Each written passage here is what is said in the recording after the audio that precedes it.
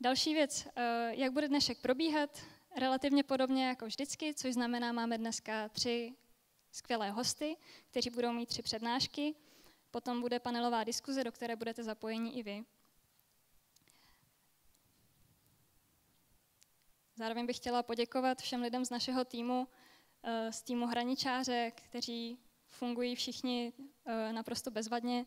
Chtěla bych poděkovat vám všem, že jste dorazili, chtěla bych poděkovat našim hostům a pustíme se do toho. Dnešním tématem je voda, jak se léčí sucho.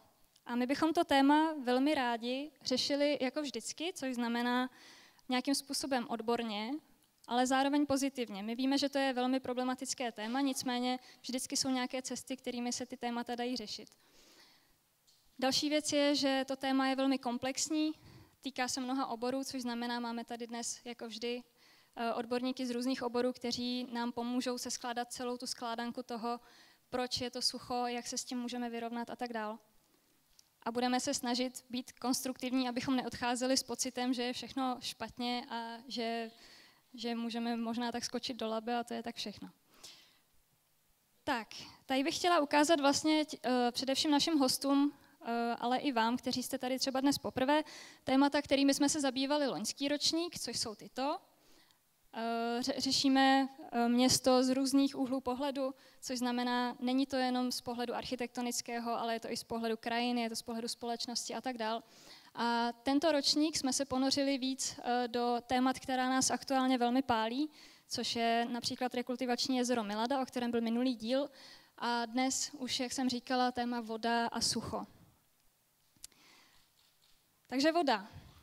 Já bych vám nejdřív chtěla říct takové věci, které asi spousta, vy, kteří máte děti, tak vaše děti si to moc dobře uvědomují a my ve svém věku už na to možná zapomínáme. Voda teče a voda teče dolů.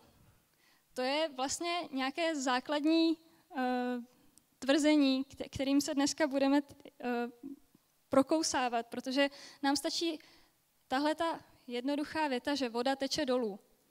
A když ta voda odteče, tak už tady žádná není. A pak je to sucho, že jo. A to je vlastně něco, co, co všechny děti ví a všichni dospělí dělají, že vlastně jak to, že je to sucho a tak dál. Je to proto, že ta voda nám odtekla, že jsme nedokázali nějakým způsobem zadržet. Vypadá to potom takhle. Já jsem původně chtěla poprosit svého uh, tatínka, jestli by mi nepřinesl svůj stromeček, který je velmi často zapomínán zalévat a vypadá nějak takhle. To možná všichni, kdo z vás, kteří pěstují kitky, znáte, že eh, když prostě máte tu půdu velmi vyprahlou a nezalívanou, tak trvá třeba tři dny, než ta půda vůbec je schopná tu vodu absorbovat. Všichni si představujeme, že ta hlína vypadá vždycky takhle, ale eh, pak se stane, že se nám stane tohle. A my jsme chtěli natočit takový video, ale nakonec to nedopadlo. Takže si představte, co se stane s takovou půdou, když na to nalejete vodu. Ono to vůbec spolu jakoby nereaguje, to se nějakým způsobem jakoby eh, nezačne vsákávat a začne to rovnou odtýkat. Což je i velký problém toho, že když dlouho neprší, tak vlastně potom, když zaprší, tak máme velký problém. Takže to bylo ze zahrádkaření. A teď zpátky do, do, do toho základního mýho tvrzení, že voda teče dolů. Ona teče dolů i v tom ústí, což je jedna z mála věcí, která v ústí funguje úplně stejně jako jinde. Abychom se podívali na naše město, tak uh, asi všichni víme, že tady je velké množství přírodních útvarů, lesů, že se nacházíme v místě, kde je obrovské množství pramenišť a potoků. A víte, že tady je, že, že tady je uh, potok uh, v Bertinem údolí, že tady je potok uh, z Dobětic, co teče a tak dále. Je tady spousta potoků, ale když jste potom v tom městě, tak o těch potocích nevíte. Proč? Protože jsou zatrubněný. Což neříkám, že je špatně, jenom říkám, že Eh, vlastně v tom městě samotném už si pak nedokážeme představit, kam se všechna ta voda poděla. Tohle je obrázek Chuděrova, možná znáte, vesnice kousek za severní terasou. Dneska vypadá takhle. Je to relativně rozlehlá vesnice, rychle se rozvíjející a okolo jsou tady ty louky a jsem tam nějaký pole. Ale ještě před nebo řekněme před 50, 60 lety, 70, vypadal Chuděrov takhle. Takže když, když vám to ukážu, jsou to naprosto identické vlastně pohledy. A ta, co se vlastně stalo s tou krajinou? Stalo se to, že uh, ty malý políčka, kde byla spousta těch alejí, kde byla spousta uh, mezí a remísků, tak najednou se naprosto změnila. Změnila se v nějakou jednolitou louku. A druhá věc, že samotná ta obec se velmi uh, rozrostla. Pardon. Ta, samotná ta obec se velmi rozrostla, což má samozřejmě na, na to vstřebávání vody do, do zeminy, do, do půdy velký vliv. Takže o tom taky dneska padne slovo. Takže to jsme v té rovině jakoby celého města a, a té krajiny jako takové. No a tady to jsou ty, ty naše lesy, na které jsme tak strašně pišní a ty naše potůčky a tuňky, které tam vznikají. Tak na to jsme teda hrdí, ale málo kdy tam možná spousta z nás chodí. No a tohle je třeba už bílina a jak se chováme k naší bílině, což znamená, že my ty řeky tak trošku možná znásilňujeme. Ale nejsme na tom nejhůř, tohle v mostě, nebo u mostu, kde ta bílina teče v tady těch velkých trubkách, což teda teprve teď začali řešit. Takže jakoby tohle je relativně ještě jako lidský přístup k řece podle severočeského vnímání. Nicméně tohle, to je, to je taková řeka vedle řeky, řekněme řeka Aut vedle řeky Labe. Eh, tohle je naše krásná náplavka, tuhle fotku ukazuju moc ráda, protože je vidět, jak, jak skvěle se k tomu Labi dostaneme a jak tam trávíme, relaxujeme tam eh, prostě skvělý místo, kde se dá být. Jo. Všichni tam chodíte každodenně, asi to víte. No a potom, co se stane, když my tady ty řeky takhle jakoby odstřiháváme a snažíme se je nějak jako zregulovat, stává se tohle, že, jo, že samozřejmě voda, která nám hnedka steče, eh, odteče, tak eh, potom způsobuje takovýhle eh, vyprahlý místa. A zároveň, když pak najednou začne pršet, tak se to chová jako v tom vašem květináči a, a vzniknou povodně, protože ta voda prostě, když teče dolů, tak se snažíte s tím místem, kam ji pustíme. To znamená, když nejbližší je ta zástavba, tak hold tam prostě ta voda nateče. No a když se podíváme třeba na příklad Kodaně, tak uh, oni si tohle velmi dobře uvědomují a vznikl tam takzvaný strategický, městský strategický povodňový plán, uh, který uh, řeší možnosti zadržování vody v celém městě. A příkladem je tenhle ten obrázek. Já tady nechci líst do zelí naší budoucí přednášející, jenom je to moje oblíbená reference. Tohle je park v Kodani a je to vlastně příklad, jakým oni se vyrovnávají s těma možnostma těch povodní, že vlastně v tom parku udělají nějaký snížený místo, kam ta voda přirozeně první nateče, když, když prší, protože voda teče dolů. Že? Takže místo toho, aby mi natekla do toho města, tak ji přesměřuju tam, kam vlastně si můžu dovolit jí chtít. Tak a já bych teďka nějakým způsobem uvedla ten náš večer. Uh, Téma vody, jak jsem říkala, se týká celého našeho prostředí, týká se jak té krajiny, tak toho města. A je to, je to vlastně nedělitelná věc, protože voda, která k nám steče z té krajiny, se dostává do města. Voda, která ve městě se nedokáže zasak, zasakovat, odtéká do těch řek, které pak způsobí povodně někde jinde. Takže ty věci jsou neskutečně provázané a já bych byla ráda, kdybychom dneska si tady ukázali tu věc jak z pohledu toho prostředí, to znamená, jakým způsobem hospodaříme s vodou v krajině, jakým způsobem uh, hospodaříme s vodou v zemědělství a v lesnictví. Zároveň, jakým způsobem jsme schopni dělat konkrétní opatření, ať už v městě, anebo v té krajině. Takže to jsou naše tři přednášky. A já teďka bych pozvala na pódium našeho prvního velmi váženého hosta. A tím je pan profesor Josef Fanta.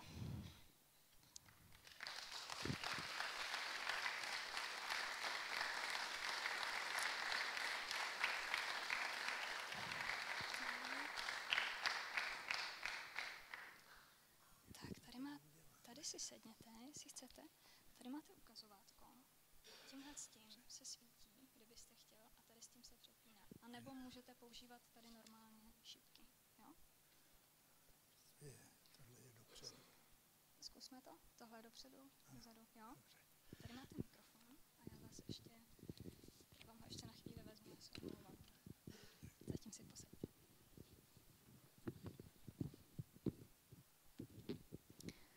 Pan profesor Josef Fanta nevím, jak je to s tím věkem u žen a mužů, jestli se to může prozrazovat. No, každopádně dneska jsme se dozvěděli, že tady pan, pan profesor bude ještě kolik, 51 let? Říkal nám to naprosto přesně. Uh, jenom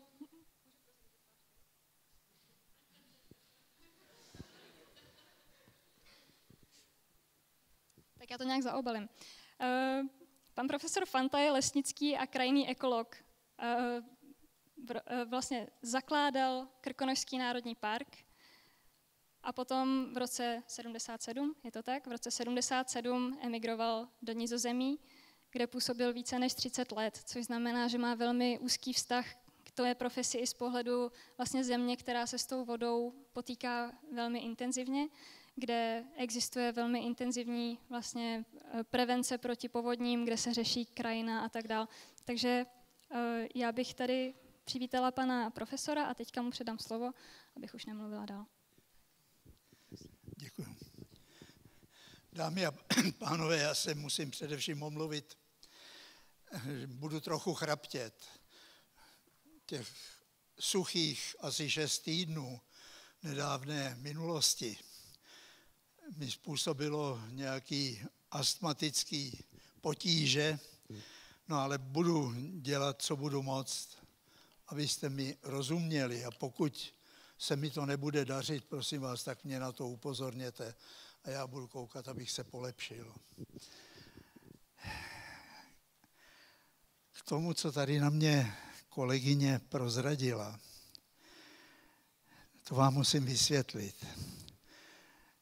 Když mi bylo 70 let, tak jsem zvolal, žil jsem tenkrát v Holandsku, Svolal jsem tenkrát svoje přátele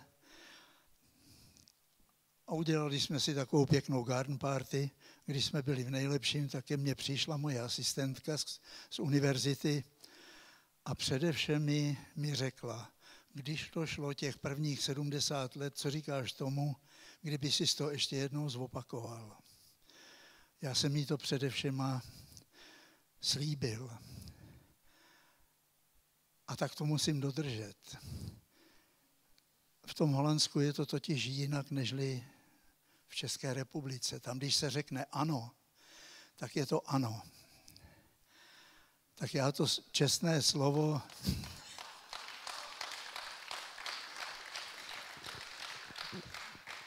tak já to slovo držím už 18 let a už mi zbývá jenom 52.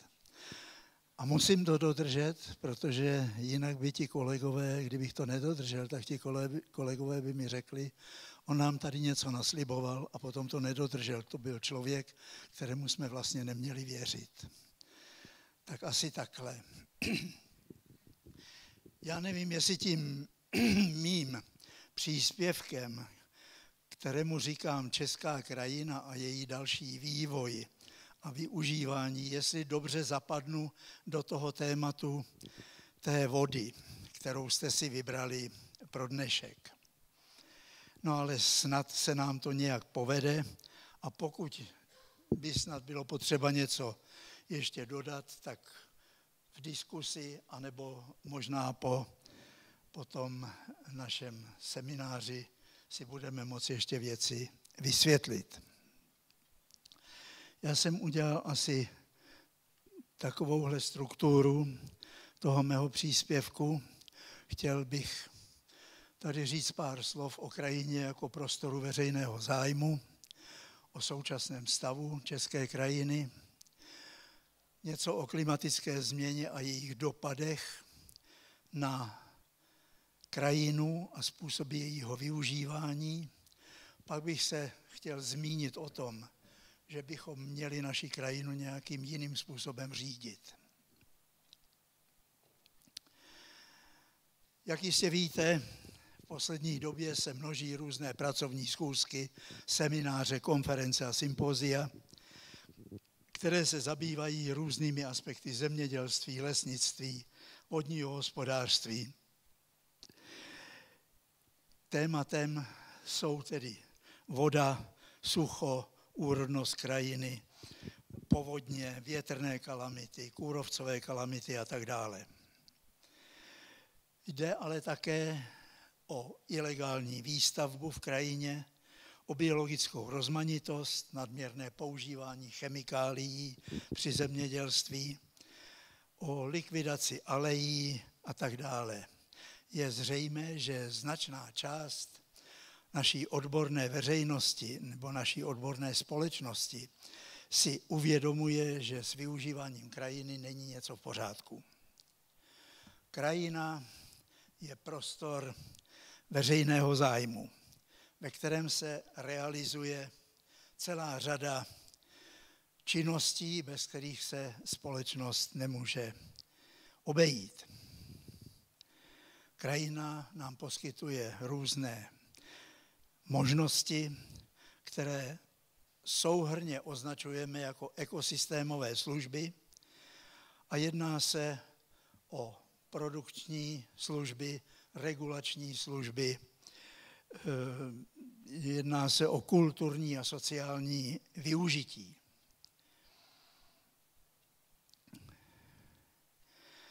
Způsob využívání krajiny má na krajinu zpětný vliv a ovlivňuje vzájemný poměr těch přírodních a účelových, těch přírodních podmínek a toho jeho účelového využívání.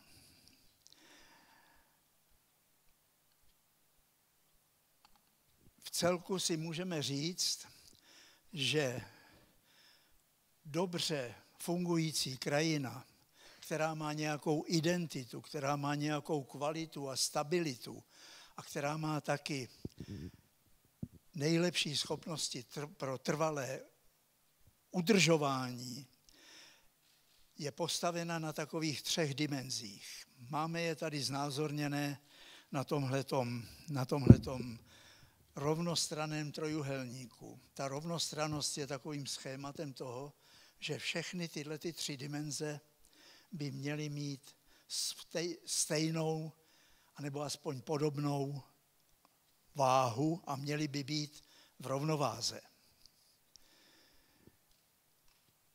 Jsou to přírodní, je to přírodní dimenze, nebo můžeme taky říkat ekologická dimenze.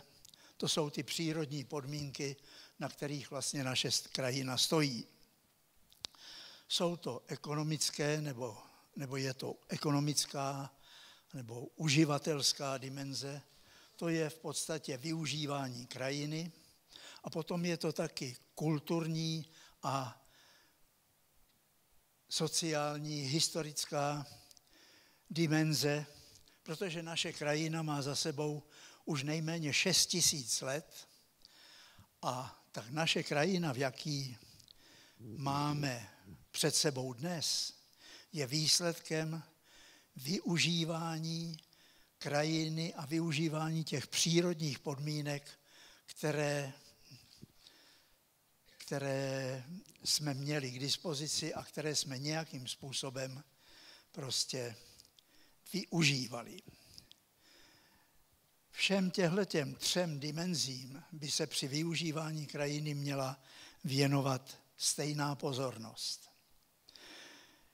Pokud bychom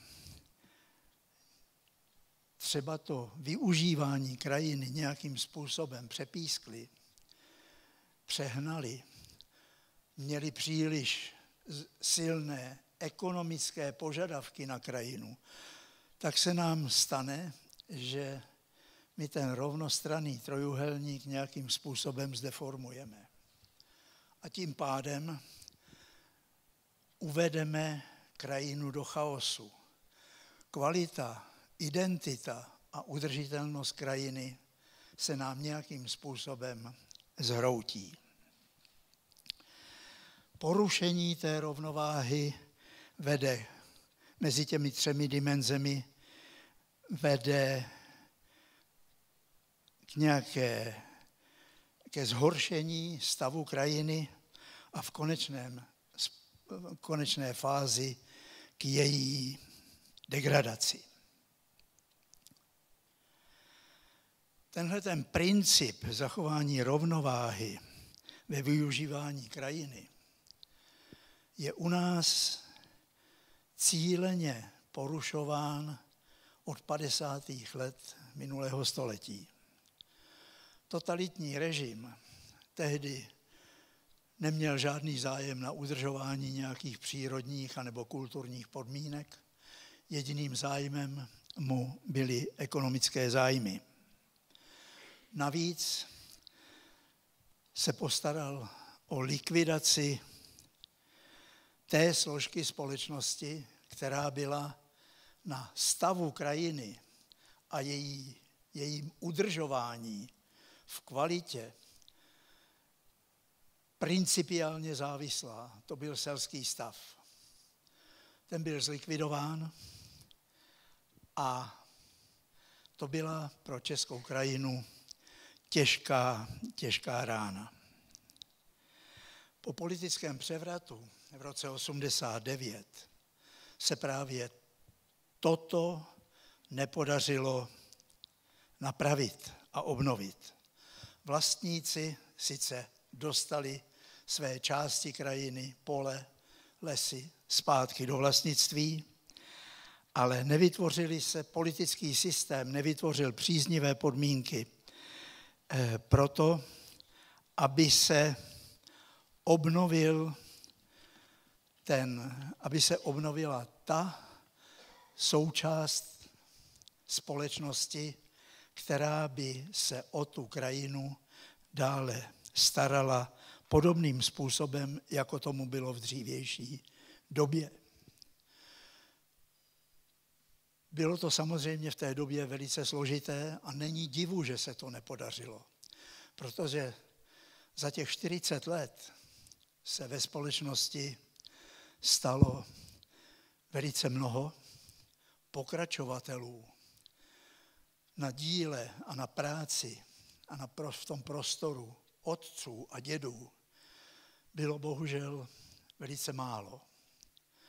V té době ale bohužel se preferovaly taky různé přehnané ekonomické tendence a výsledkem bylo, že my máme dneska krajinu, která je z 80 využívaná průmyslovým způsobem a pouze asi z 20%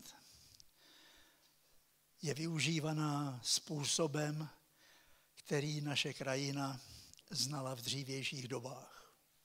Jsme si samozřejmě vědomí toho, že po těch dlouhých 40 letech už nešlo obnovit využívání krajiny na těch malých plochách. Ale bohužel se přešlo do extrému. No a tak máme dneska krajinu, která je průmyslovým způsobem využívaná. V krajině přicházíme každoročně nejméně o pět tisíc hektarů, většinou té nejúrodnější zemědělské půdy, výstavbou různých komerčních objektů a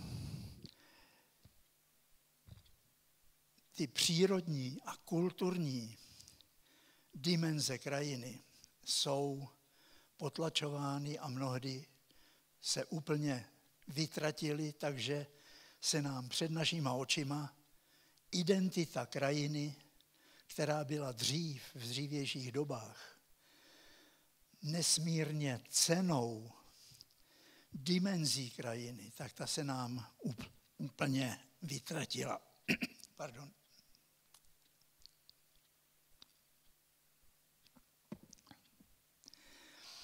Po těch 70 letech nevhodného způsobu využívání krajiny máme dnes českou krajinu, která má celou řadu priorit v Evropě. Je to krajina, kde měřítko využívání a měřítko jednotlivých rozloh pěstování plodin je největší v celé Evropě. Pokud jste někdy letěli letadlem přes hranici mezi Německem a Českem nebo mezi Českem a Rakouskem a tam zejména, tak jste si toho jistě všimli a dovedli jste z toho letadla přesně identifikovat, kudy prochází zemská hranice.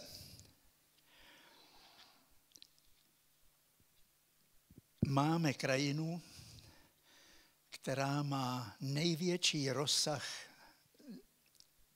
eroze zemědělských půd v celé Evropě.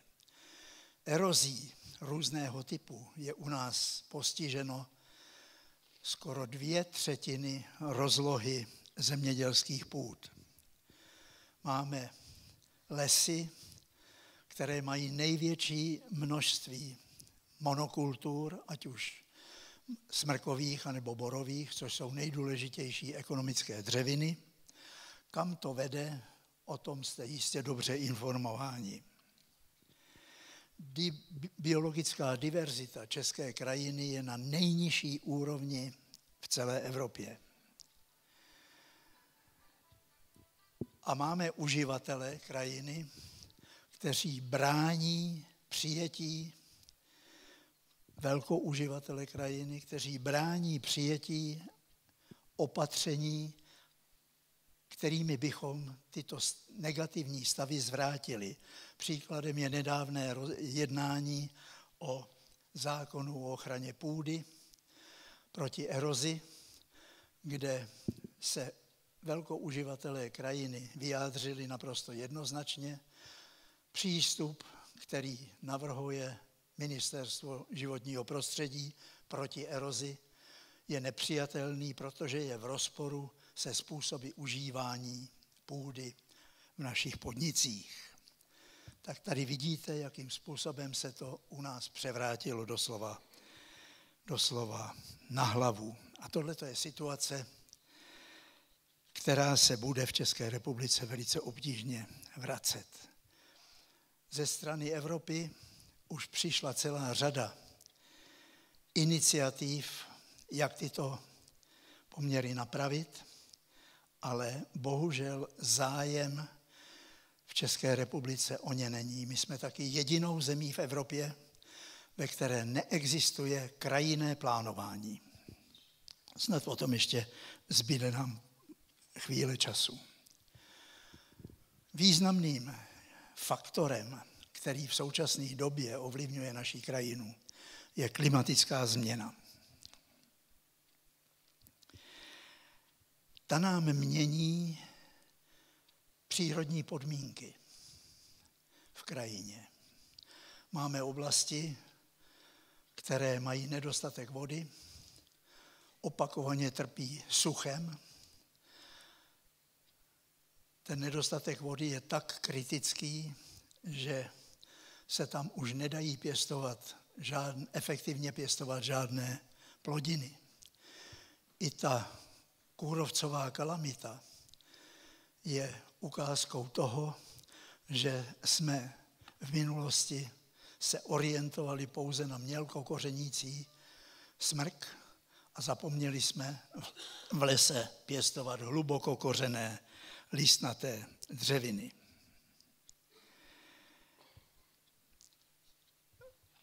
S velkým spožděním za ostatními zeměmi Evropy jsme teprve před dvěma lety přijali program adaptace a na klimatickou změnu a akční plán adaptačních opatření.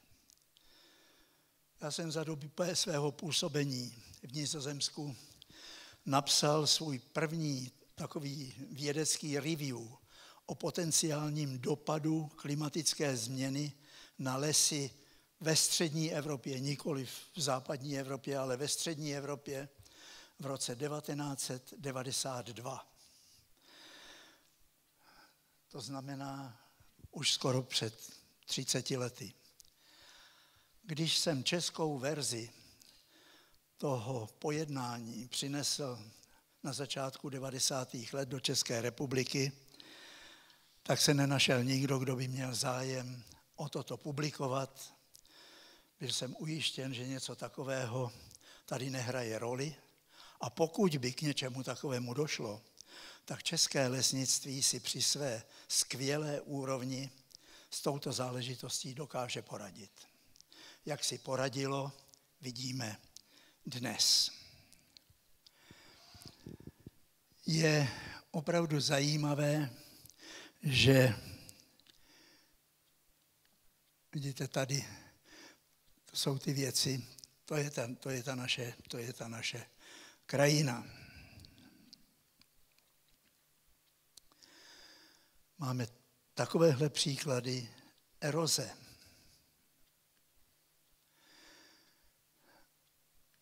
A nebo třeba taky takovéhle příklady eroze. Takovéhle obrázky se v českém tisku prozatím neobjevily. Jiné evropské země, a třeba to placaté Nizozemsko, si už v 70. letech vypracovalo něco takového, jako je vize krajiny, která se každých nějakých 10-15 let reviduje a zjišťuje se, jestli předpoklady, které jsme do té vize vložili, stále ještě platí. Ono se nám totiž všechno kolem nás mění. Jak už jsme řekli, mění se nám přírodní podmínky, ale mění se taky politické podmínky, mění se společenské podmínky a mění se samozřejmě i ekonomické podmínky. A na to všechno by měla naše vize krajiny reagovat. Něco takového bohužel v České republice neexistuje. My nemáme naprosto žádnou krajinou politiku, jako jí má třeba to Nizozemsko, Dánsko, Švýcarsko, Francie, Španělsko. Nemluvě o Rakousku. Základem rakouské zemědělské politiky je rodinná farma. Řekněte mi, co je základem zemědělské politiky v České republice.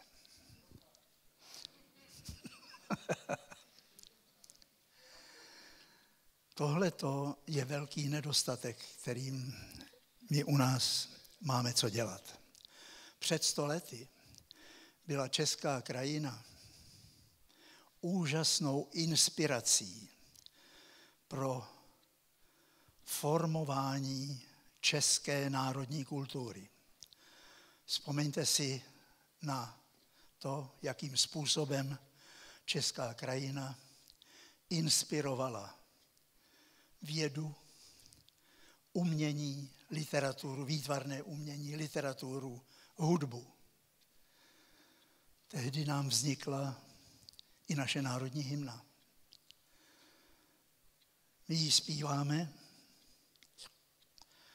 a jen málo kdo z nás si uvědomí, že ty bory už nám na skalinách nešumí.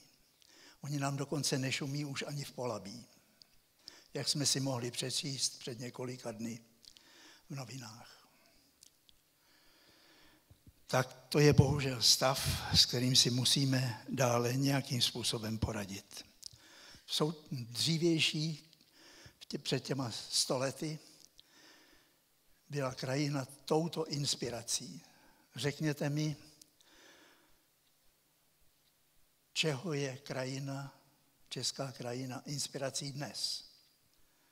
Vydělávání peněz. Nic, o nic jiného nejde.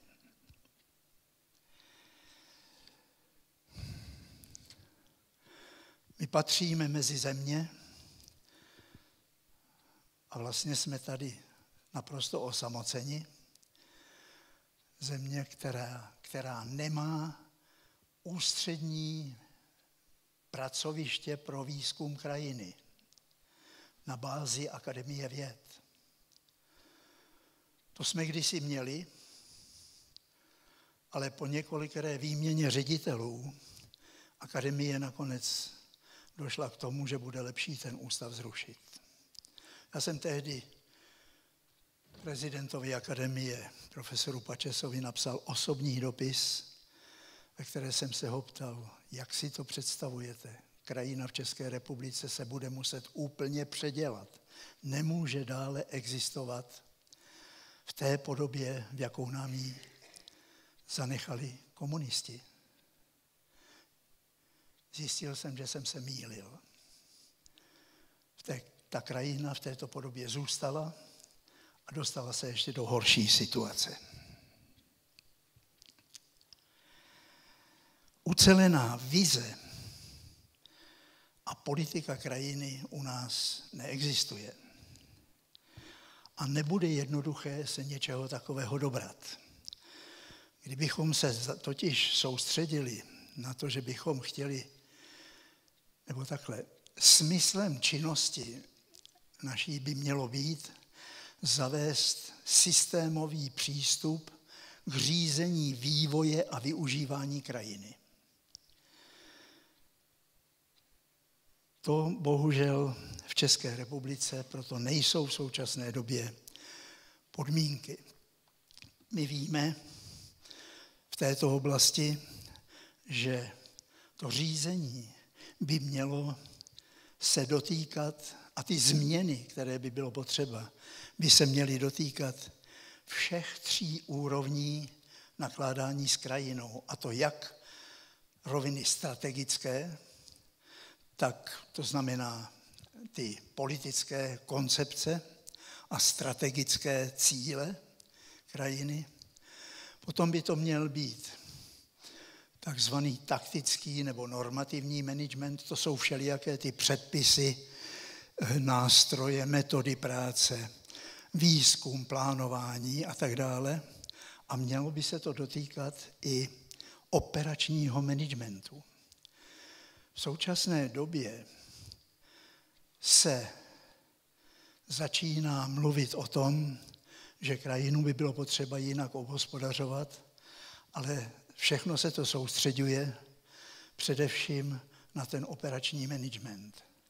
Ale tím, že my budeme pěstovat nějaké jiné ekonomické plodiny, anebo jiným způsobem ty plodiny střídat, anebo používat ještě silnější mechanizaci, tím té změny nedocílíme.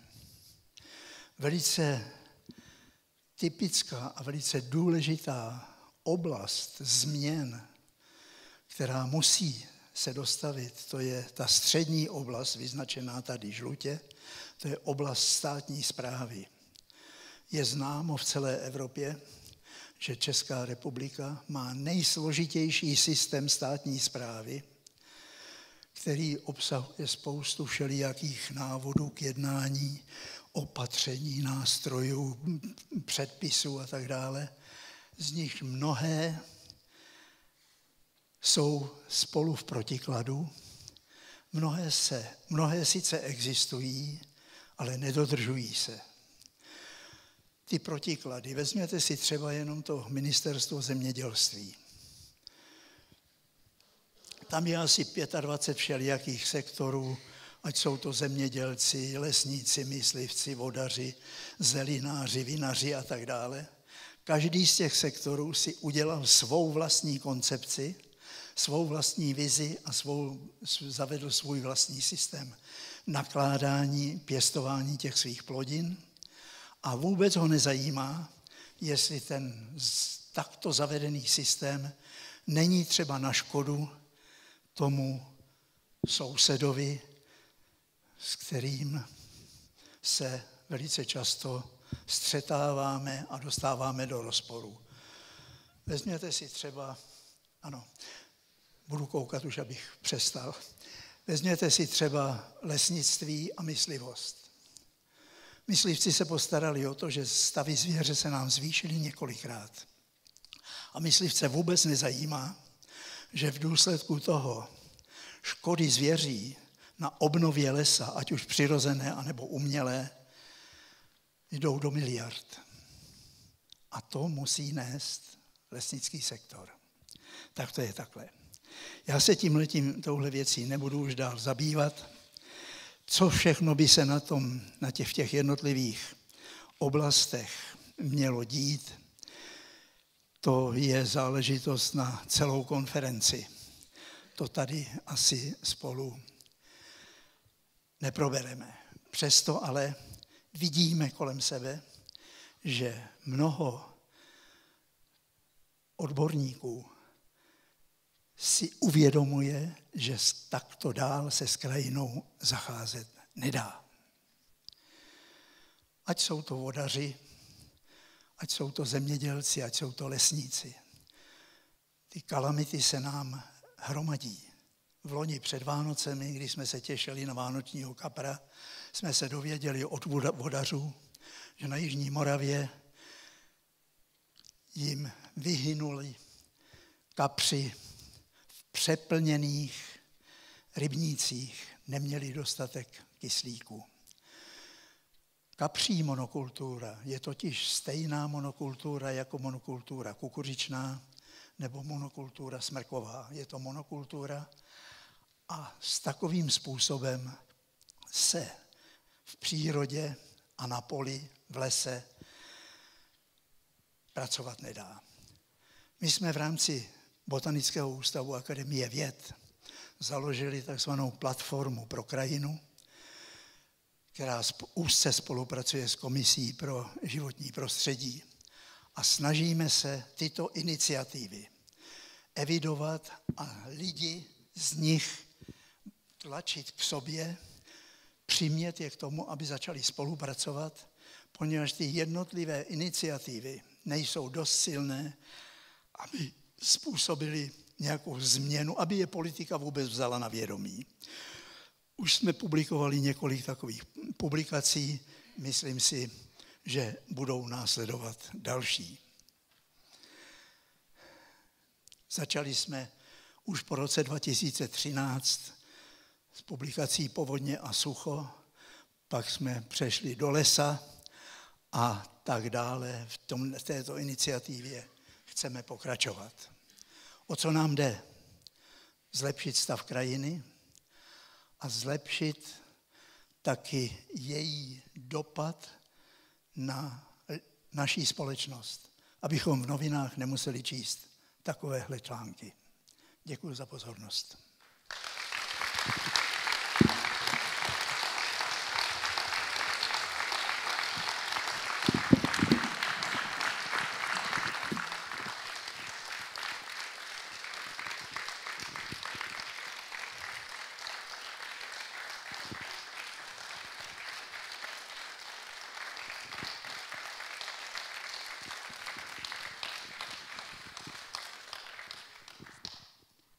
Tak já velmi děkuji za přednášku.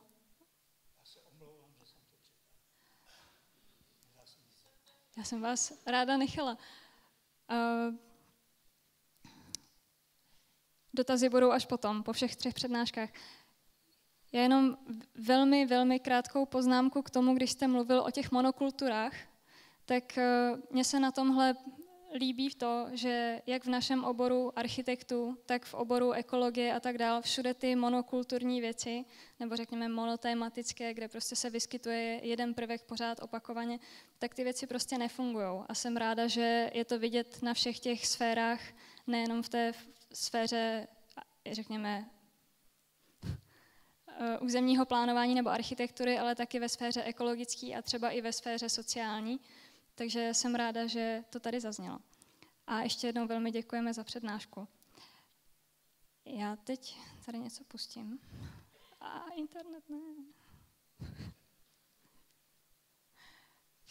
Pardon. Um, jo.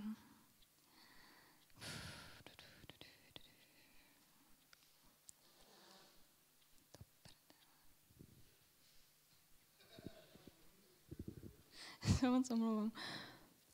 Tak. Výborně. Já bych teď pozvala na pódium pana docenta Zbyňka Hrkala.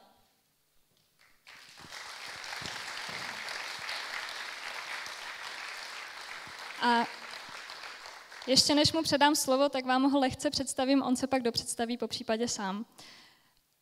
Mimochodem jsem velmi ráda, že tady dnes máme hosty z různých generací, abychom si to téma prošli nejenom z hlediska těch našich oborů, ale i z hlediska vlastně našich zkušeností a tak dále. Takže pan docent Zbigněk Hrkal, já tady u vás mám napsaný, že jste cestovatel a mně se to vlastně velmi líbí, že vy kromě toho vašeho oboru ještě cestujete a sbíráte ty, ty vlastně přínosné příklady odinuť. Takže eh, velmi se těšíme a kromě toho eh, publikujete skvělé publikace, takže o tom pak můžete taky se zmínit, abychom eh, vám dali nějaký prostor k tady tomu. Dobrý, tak já vám předávám slovo. Děkuju.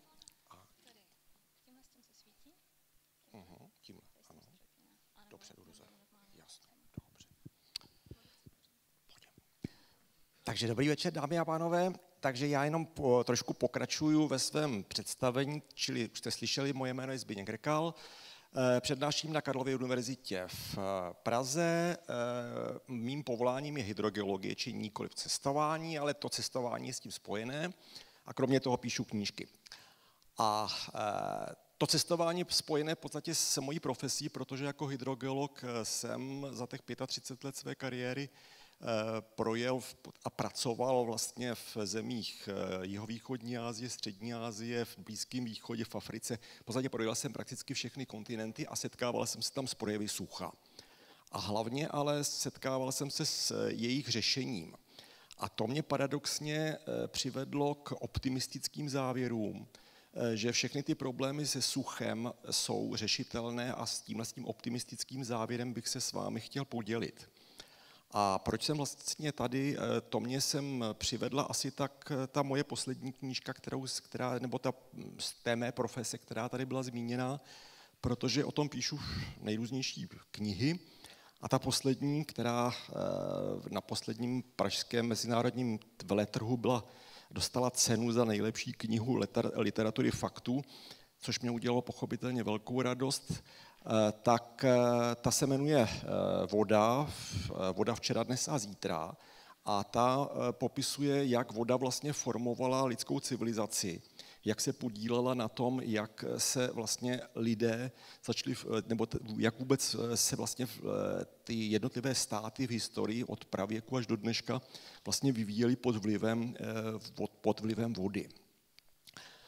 A mimo jiné, ta se tam zmiňuji právě o dopadu sucha a jak v té přednášce uvidíte, začlenuju to do takových těch širších souvislostí. Takže tu přednášku jsem nazval, co je to nedostatek vody, proč jízdní i lidé, kteří vodu mají a pos, nakonec jsem dal takovou tu s, novinářskou patetickou otázku, máme se sucha bát. Takže nejdřív eh, zdánlivě jednoduchá otázka, eh, co způsobuje sucho. Protože eh, asi, když bych vám položil tu otázku takhle z fleku a měli byste okamžitě odpovědět, tak každého asi napadne nedostatek srážek. Čili jinými slovy změny klimatu. Což je, otázka, což je odpověď správná, ale je to odpověď nedostatečně široká, protože, jak si za chvíličku ukážeme, těch příčin toho sucha je podstatně více. Eh, je to přelidnění, čili množství lidí je příliš velké, alespoň v některých oblastech, než jsou disponibilní zdroje. A především v těch oblastech se zvyšuje životní úroveň a tím se zvyšují i nároky na vodu. Či nejdřív ten, ty změny klimatu. Ten změny klimatu už tady byly eh, zmíněny zmíněny jednou. Je to opravdu fenomén, který zasahuje do životního stylu a vůbec ohrožuje existenci naší civilizace, to je bez jakékoliv diskuze. Ovšem jako geolog můžu zodpovědně prohlásit, a na tom se shodnou v podstatě asi všichni geologové, že to je jev, na kterým člověk má opravdu jenom minimální dopad. A je to věc, která je naprosto přirozená, protože klima nikdy stabilní nebylo a stabilní nebude. A všechny ty naše snahy o to klima stabilizovat jsou v podstatě předem odsouzeny k zániku. Eh, jestliže chceme přežít, tak máme jedinou možnost a to těm změnám se přizpůsobit. A velice často na těch přednáškách dostávám do otázku, eh, kdy nám dojde voda. To je, hm, tuhle tu otázku třeba milují novináři. A vždycky se snažím zdůraznit, že voda na planetě nikdy nedojde. Množství vody na planetě je prostě stabilní. A ten problém spočívá někde jinde, protože příroda je taková trošku škodolibá a nejenom, že tu vodu rozděluje mezi lidskou populaci a přírodu nerovnoměrně v čase, ale i v prostoru. Takže prostě někomu jí dá moc, někomu jí dá málo. A když už si na to ty, ty druhy zvyknou, tak ty, eh, tak ty pravidla změní a ti, kteří tu té vody měli málo, tak ji najednou mají moc a zase naopak. Čili v podstatě nás udržuje neustále eh, ve stavu eh, nezbytné flexibility a pokud tu flexibilitu ztratíme, tak prostě vymřeme. Zase s troškou nadsázky totiž tvrdím, že pijeme a koupáme se ve stejné vodě jako staří římané, nebo, se, nebo předtím pili a koupali se dinosauři. V podstatě je to furt ta samá voda, která akorát v rámci koloběhu se přemístila z jednoho kontinentu na, na druhý, je v jiné formě, je třeba ve formě ledu nebo podobně, ale je to furt ta samá voda. A teď se dostaneme k tomu, k té otázce přelidnění. Eh, v té své knižce píšu to, že když se podíváte na vznik nejrůznějších lidských civilizací a států, tak vždycky se lidé usazovali v místech, kde byl dostatek vody. I všechna velká města, historická města v Evropě nebo kdekoliv jinde, vždycky jsou na březích velkých řek, anebo v podstatě v místech, kde byl přístup k vodě. Či tímhle s tím principem se lidé eh, chovali eh, v podstatě od pradávna, až do relativně nedávné doby. A teprve zhruba tak někdy na přelomu 19. nebo ne, 18. 19. století, ale teprve později v tom století 19. tyhle ty pravidla přestali respektovat. A jako klasickou ukázku vždycky uvádím takovou Kalifornii. To je oblast, kde eh, prakticky nemáte vůbec vodu, je jí tam strašně malinko a lidé se tomu přizpůsobili, takže tam nikdo nežil. A když, tak to byly podstatě jenom eh, kočovné indiánské kmeny, které se na ten nedostatek vody dokonale přizpůsobily. Ale pak se tam objevilo zlato. Nahrnuli se tam dobrodruzi, desítky tisíc, sta tisíce, založili se tam ty obrovská megaměsta, celý ten region zbohatl a v současné době ta aglomerace Los Angeles má nějakých 10, 11, 12 milionů obyvatel. A protože je extrémně bohatá, tak pochopitelně s tím stoupají i obrovské nároky na vodu. A je zaděláno na problém.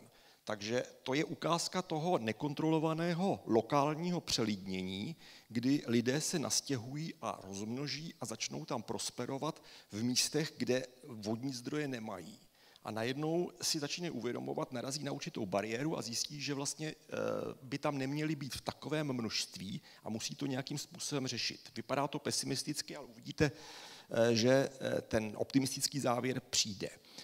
Podstatně horší případ je přelídnění v případě rozvojových zemí, protože tam dochází k obecnému trendu, který vidíme v Jižní Americe, v Ázii, v Africe, všude, kde eh, zemědělský lid eh, v představě, bláhové představě, že si zlepší životní úroveň, tak se přestěhuje do měst a vznikají, vylidňuje se vesnice nebo ty, ty vesnické aglomerace a vznikají obrovská megaměsta, čítající Lagos má nějakých 15 milionů obyvatel.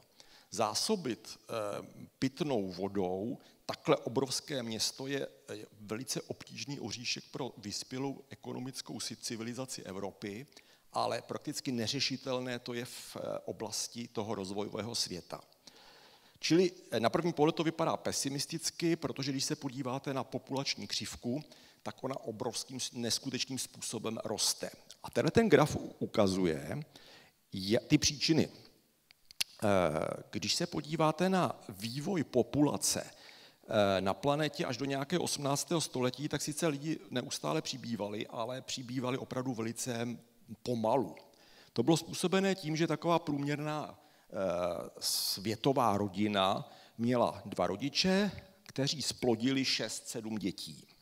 A z těch sedmi dětí ale drtivá většina těch dětí umřela na nejrůznější choroby a dožila se akorát tak ty dvě, dvě v průměru 2,2 desetiny eh, dítěte dospělosti.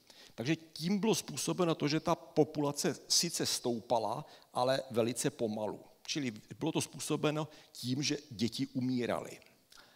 Eh, pak nastalo 19. století a nástup eh, zvyšování životní úrovně a obrovský, obrovský nárůst kvality lékařské péče.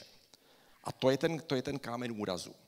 Eh, zní to teď ošklivě, co řeknu, ale ten problém rozvojového světa je prostě daný tím, že my jsme jim tam exportovali nerovnoměrně výdobytek naší civilizace. My jsme tam vyexportovali kvalitní lékařskou péči. V úvozovkách není samozřejmě srovnatelná s námi, ale dramaticky poklesla kojenecká úmrtnost, ale v ruku v ruce s tím nešel ten ekonomický pokrok a ta ostatní, ty ostatní složky, na, který jsme, na které jsme my zvyklí. A to je, ten, to je to, co způsobuje tenhle ten obrovský nárůst protože rodí se furt těch šest dětí, aspoň v těch roz, rodilo se eh, v stále okolo těch šesti, šesti dětí, ale díky té eh, výrazně lepší kvalitní lékařské péči se z těch eh, šesti umřelo jenom jedno a pět, šest se přežilo do dospělosti. A tohle to destabilizovalo celý ten, celý ten rozvojový svět a to způsobilo to, že z, těch, z té miliardy, kterou jsme měli na začátku 20. století, jsme se dostali v současné době na 7, na 7 miliard.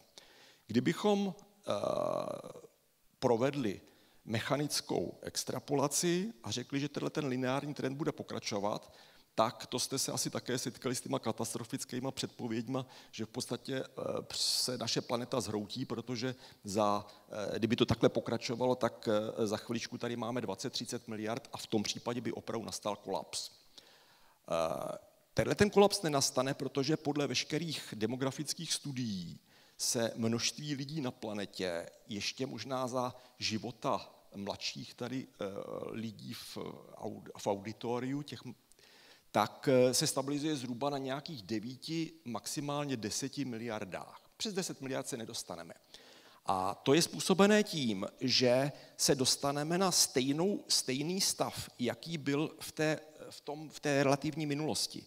Čili stará rovnováha bude eh, vystřídána novou rovnováhou, ale ta bude podstatně humanit, humálnější, protože zase budou žít dva rodiče, kteří splodí, splodí, ale hlavně vychovají 2,2 desetiny eh, dítěte, statisticky, ale nebude to způsobené tím, že by eh, čtyři děti umřely, ale proto, protože oni víc dětí eh, plodit nebudou ani chtít. A to nebude dáno, a, ne, a není to ani dáno žádným direktivním nařízením, tak jako to bylo třeba v Číně, ale prostě zvýšením životní úrovně. Že to funguje, jsme svědky v Ázii, jihovýchodní Ázii, v Jižní Americe, v podstatě s výjimkou Afriky, to je opravdu nešťastný kontinent, s výjimkou Afriky se všude eh, stabilizuje, směřujeme k tomu, k tomu průměru 2,2-2,3 desetiny dítěte. A ve všech těchto rozvojových zemích Eh, dochází k stabilizaci množství populace. Takže to je ten optimistický závěr, kdy při zhruba eh, stabilizovaném množství lidí na planetě na těch deseti miliardách rozhodně se nedostáváme do stavu, kdyby eh, v globálu jsme měli v disproporce vodní zdroje, vodní zdroje množství lidí. A teď k té životní úrovni. Někdy v roce 1960 na planetě žili 3 miliardy lidí. A to rozložení z hlediska příjmů vypadalo takhle. To vypadalo takhle, takhle opravdu e, byl rozdělený bipolárně svět na zem, rozvojové země, kde převládala chudoba, a eh, ten bílý svět, Evropa, USA, nebo respektive Severní Amerika, vysokým příjem. A takhle eh, si troufnu říct, že drtivá většina našich obyvatel vnímá pojetí toho světa i nadále. Stále si žijeme v představě, a to je milná představa, že existuje cosi, co, co je chudý rozvojový svět a bohatý bílý svět. Ale ona ta současná situace vypadá takhle. Eh, na planetě už je 7 miliard lidí a nejpočetněji je zastoupená část, která už spadá do středního, středního příjmu. a s nízkým příjmem extrémní chudoby už je v úvozovkách jenom jedna miliarda. A to je, ten, to je ten problém s tou vodou, protože pochopitelně nemůžeme nikomu upírat, aby se měl lépe a lépe. Ale tím, že eh, se eh, stoupá životní úroveň v těch rozvojových zemích, upřímně řečeno, eh, já už nemám rád termín rozvojová země, protože když se podíváte do takové Malajzie, tak to už není rozvojová země. To už je země, kde sice se setkáte s tou extrémní chudobou, ale drtivá většina lidí, stejně jako v Indii, zase máte extrémní chudobu, ale množství Indů, kteří spadají do kategorie střední třída, už je větší než proporcionálně v Evropě. Eh, takže ty lidé v té střední, střední třídě eh, s tou zvyšující se životní úrovní pochopitelně jim rostou eh, nároky na vodu. A s tím z toho vyplývá, že stále v těch, těch státech roste množství spotřebované vody. Ale ono to funguje jenom do určité míry, protože v okamžiku, kdy tehle, ten, ta skupina lidí se přehoupne do té kategorie vysokého příjmu a dostanou se do kategorie, jako jsme my, tak najednou zjistíme, že e, sice ukazujeme prstem na to, jak plítváme a tak dále s vodou, ale my ve skutečnosti e, s tou vodou relativně dobře šetříme, což můžeme dokumentovat například na spotřebě vody v České republice na hlavu.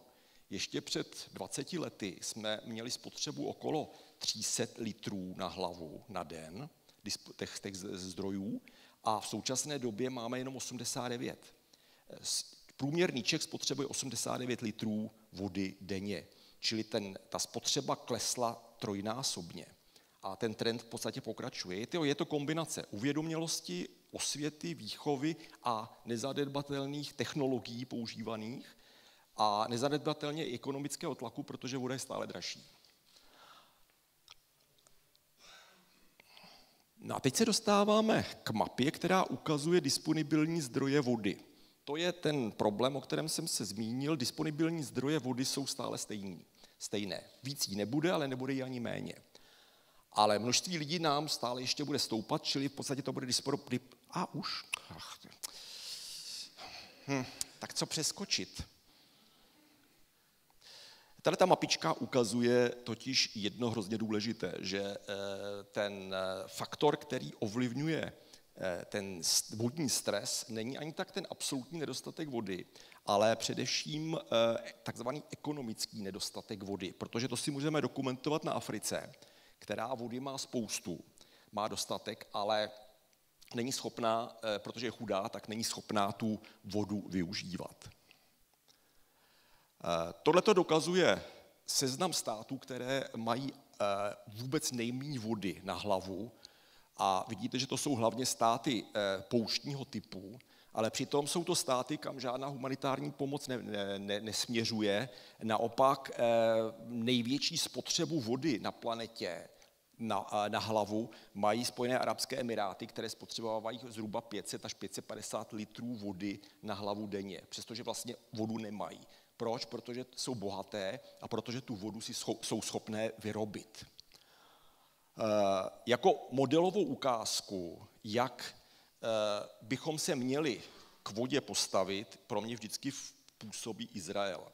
Stát, který žije v polopouštním prostředí a přitom je to stát, který dokázal vybudovat nesmírně efektivní ekonomiku a hlavně je to stát, který jako první na světě Eh, se stal nezávislý na atmosférických srážkách. Čili to je ta absurdita, že to je první stát, který, eh, které, který vyškrtl ze svého slovníku slovo sucho, protože on tu vodu dokáže s ní dokonale pracovat.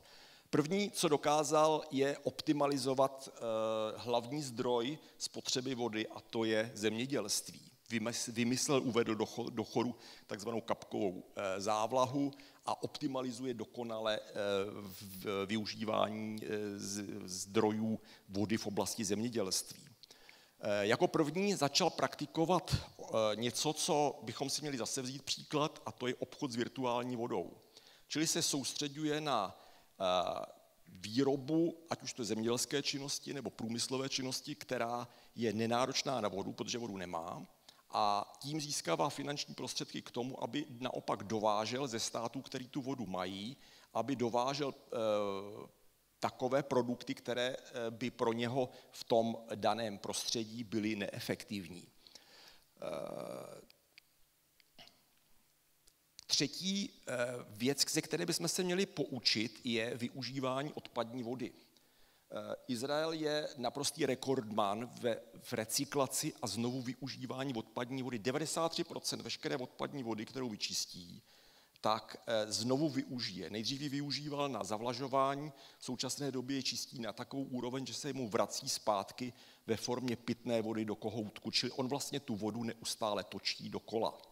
Eh, my jsme na tom zatím tak, že si legislativně zakazujeme znovu využití a zasakování odpadní vody a eh, naopak jí máme legislativně povinnost pouštět jí do vodního toku. A jak tady eh, padla ta zmínka, voda odtéká pryč, to znamená, že tuhle tu vodu, ty obrovská kvanta vody, která jsou tady srovnatelná s tím, co tady uvádím pro tu telavivskou aglomeraci, vlastně pouštíme do řeky, pouštíme do Labe a tady v, v Děčíně vlastně tuhle tu vyčištěnou odpadní vodu eh, pouštíme sousedům, aniž by jsme ji využili. Izraelec by tuto vodu eh, recykloval a držel by si ji na svém území. A poslední věc, která na první pohled vypadá, že by s námi neměla souviset, a to je obrovský potenciál v celoplanetárním měřítku využití, eh, využití mořské vody. To je v podstatě nekonečný zdroj vody.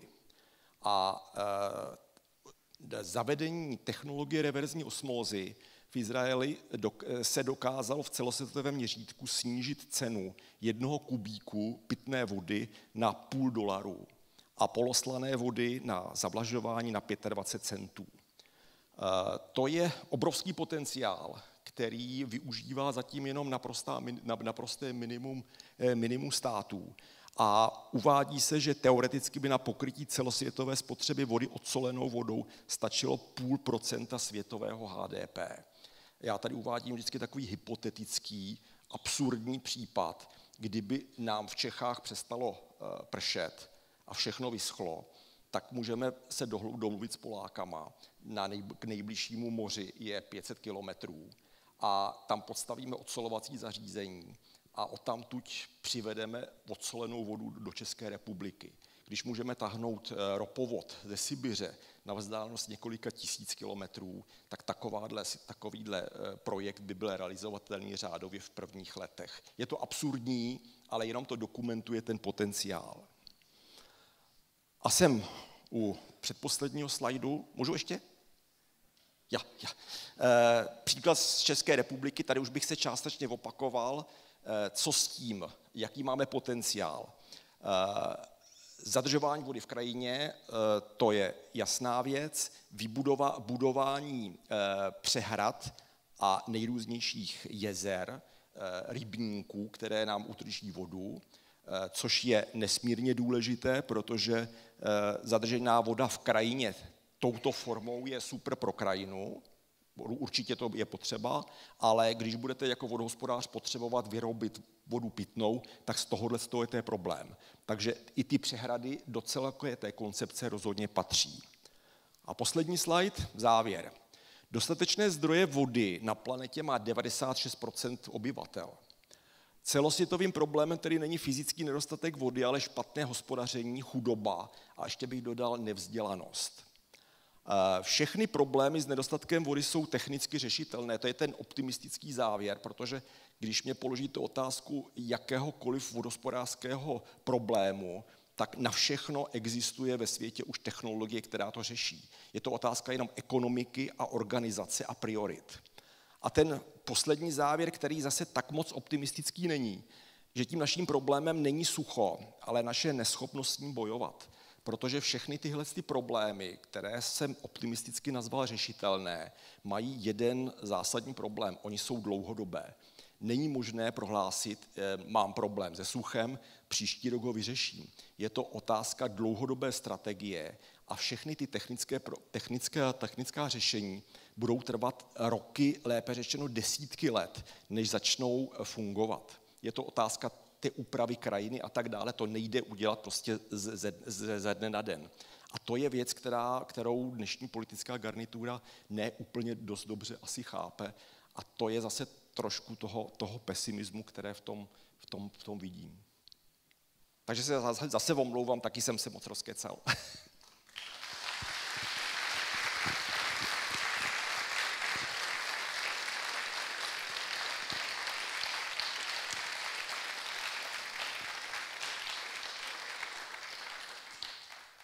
Děkujeme velmi za přednášku. Já se chci omluvit, já mám totálně upečený mozek, takže dneska dost uh, plácám. A ještě k tomu, uh, že jsem vás představila jako cestovatele. Já, já mám totiž os, upřímně jako ze své profese trošku problém rozlišovat všechny ty profese jako hydrotechnik, hydrogeolog a vodohospodář a tak dále. Pro mě jste všichni nějaký vodníci, řekněme, takže buďte rád ještě za toho cestovatele, mohlo to být horší. tak, uh, Jinak nevím, jak vás, mě ta závislost na těch technologiích trošku děsí, ale k tomu se asi dostaneme ještě v průběhu uh, diskuze. Tak já se pokusím pustit uh, poslední prezentaci. Určitě mi to půjde.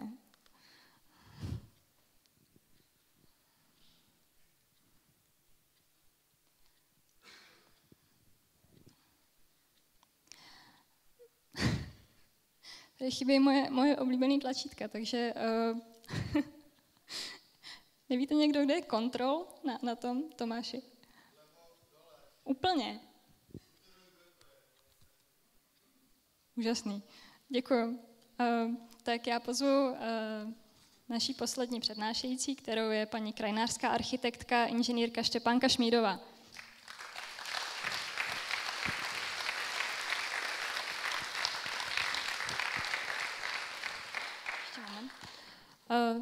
To už dokážu, protože to je přece jenom trošku blíž mýmu oboru. Takže eh, já vás tady vítám. Eh, paní inženýrka je zakladatelkou Šmídová Landscape Architects a poprosili jsme ji, jestli by eh, neměla přednášku na téma zadržování vody ve městě, jakým způsobem můžeme konkrétně ve městě zadržovat vodu, využívat ji potom dál, když jsou ty extrémní sucha a ochlazovat tak naše města. Takže já vám předám slovo. Děkuji, dobrý večer. Tak já tady ze své profese navážu nad předřečníky a budu se věnovat eh, tématu, jak vlastně eh, bychom měli hospodařit s vodou ve městech.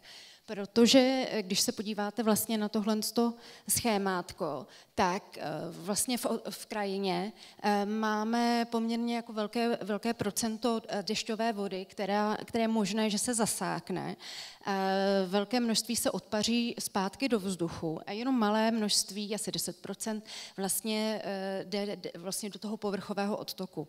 Ve městě ta situace je úplně jiná a tady nám vlastně odtéká asi 55% vody.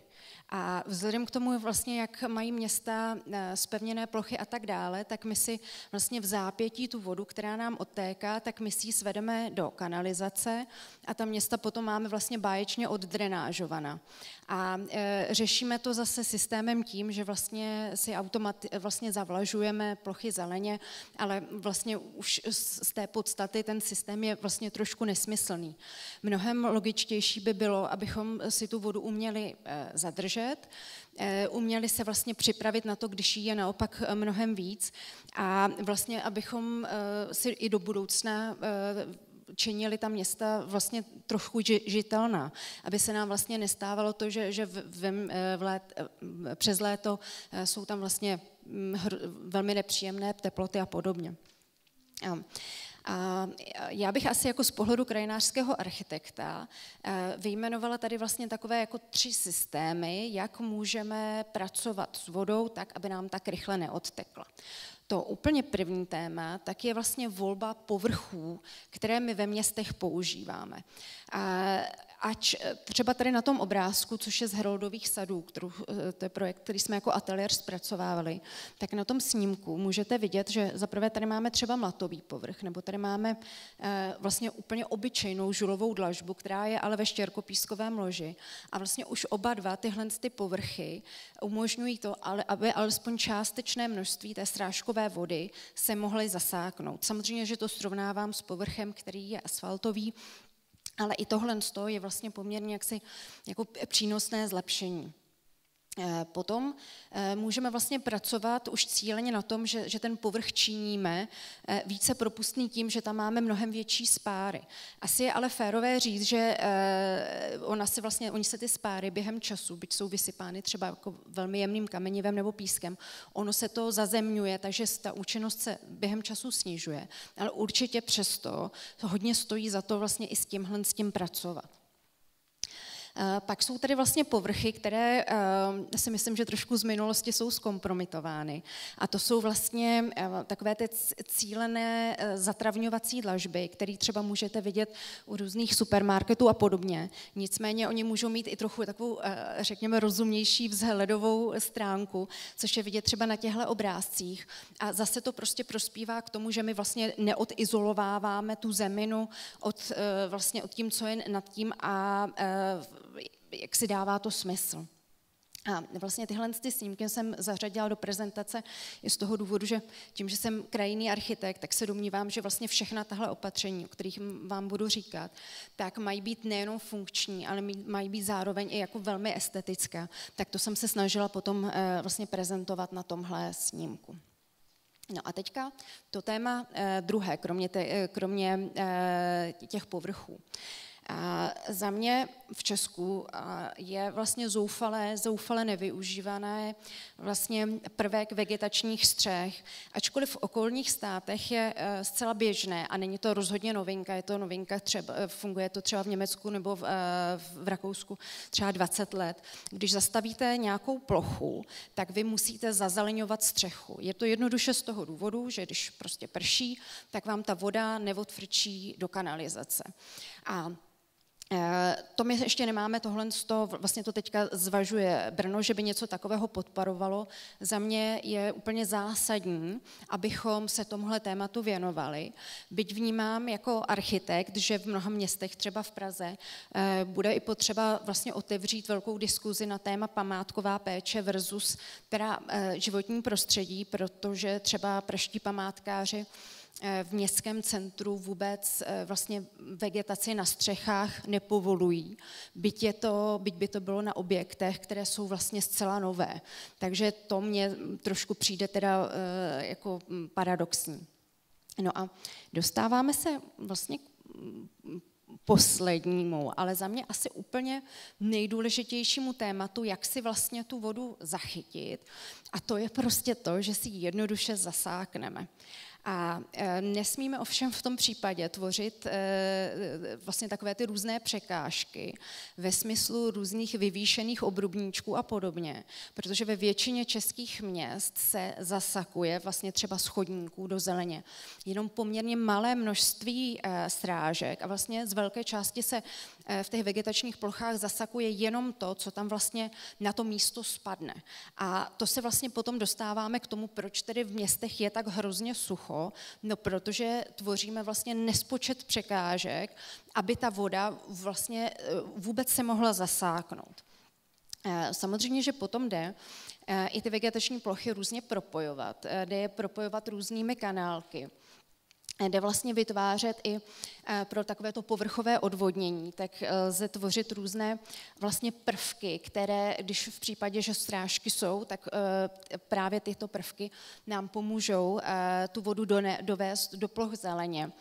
A zase tady na těch dvou snímcích bych chtěla mm, odprezentovat to, že rozhodně jako by se vůbec nemělo v tomhle případě rezignovat na nějakou estetiku.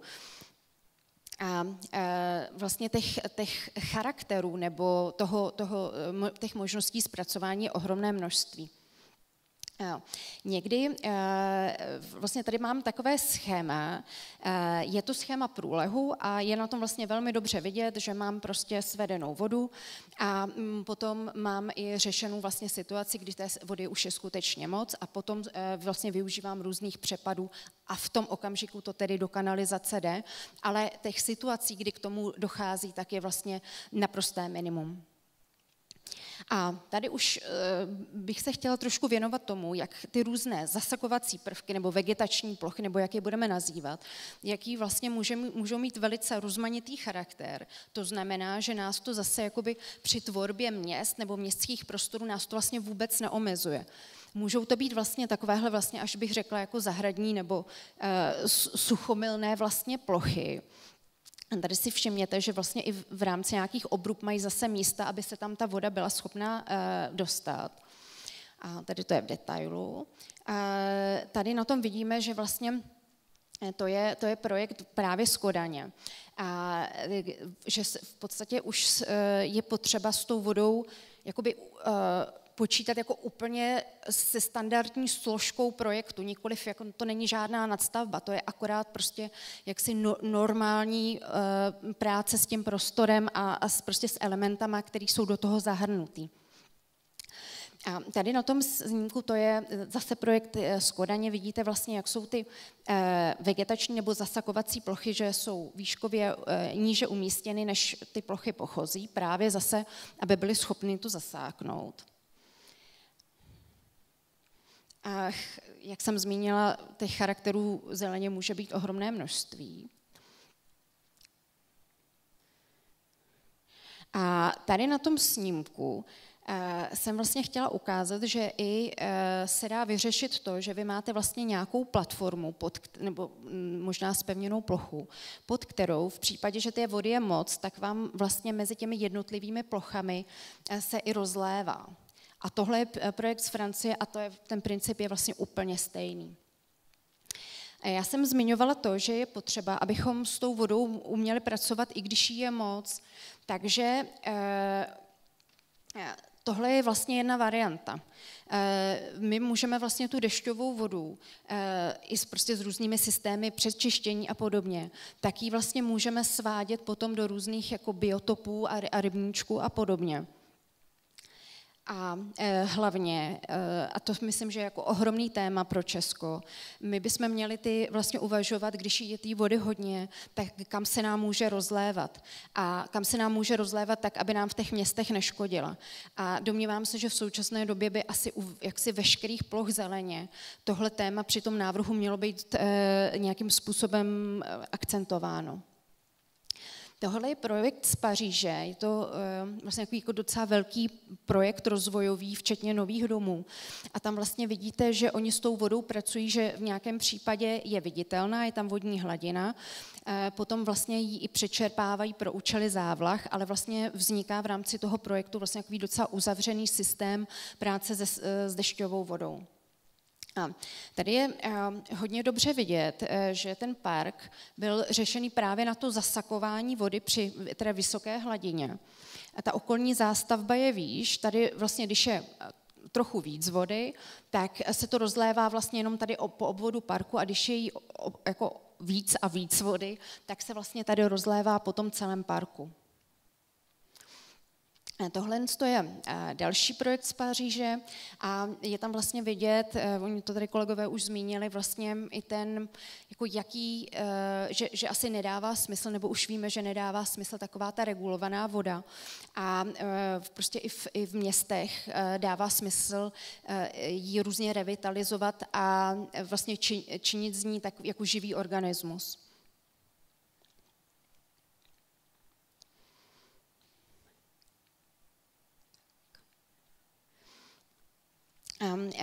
Pro mě je třeba hodně zajímavé, jak se dá pracovat eh, právě s tím, i když, když se budeme bavit o architektuře, o městském prostředí, tak i vlastně takhle jako vlastně přírodně velmi dobře fungující systémy vlastně můžou mít potom jako takový velmi jako charakteristický rysy a, a, a, a vzhled a tvář. No a já tady mám poslední téma, kterým bych se ráda dotkla, a to sice stromy ve městě a voda ve městě, protože to spolu hodně moc souvisí. A my po tom posledním létě furt slýcháme různé sliby, jak se bude všude vysazovat miliony stromů a podobně. Ale A ono v Česku vůbec není problém v tom, že bychom ve městě neměli dostatek stromů. My jich máme dost, ale v čem máme opravdu velký problém, tak je jejich kvalita. A průměrný věk stromů v Praze v současnosti je asi 15 let, takže je vám jasné z toho, že vlastně ty stromy se akorát jaksi rotují, obměňují, znovu vysazují, kácí, nebo sami vlastně, uh, vlastně zajdou nebo mají nevyhovující stav. A e, vlastně to, to, to za mě je tedy téma, které je k řešení a nikoliv jako ten samotný e, počet. To městské prostředí je hodně extrémní pro stromy nebo pro zeleň obecně. Kromě toho, že je velice vysíchavé, což asi je každému jasné, tak jsou tam i další problémy.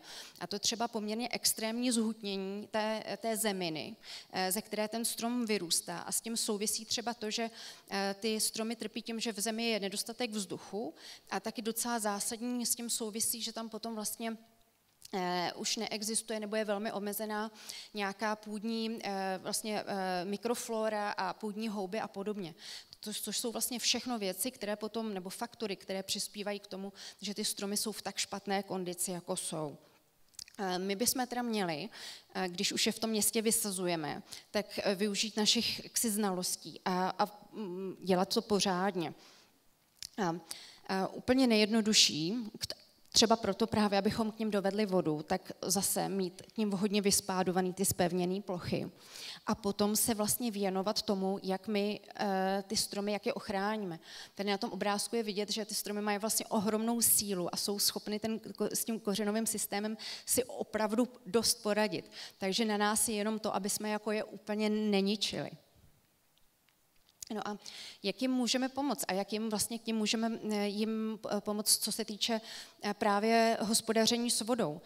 Třeba tím, že jaký používáme ty svrchní materiály, ty mulčovací materiály protože jak jsem třeba v tom eh, jednom z úvodních slajdů ukazovala ten mlatový povrch, tak eh, to sice dobře vypadá, ale eh, co se týče propustnosti pro vodu, tak to rozhodně tak příznivé není.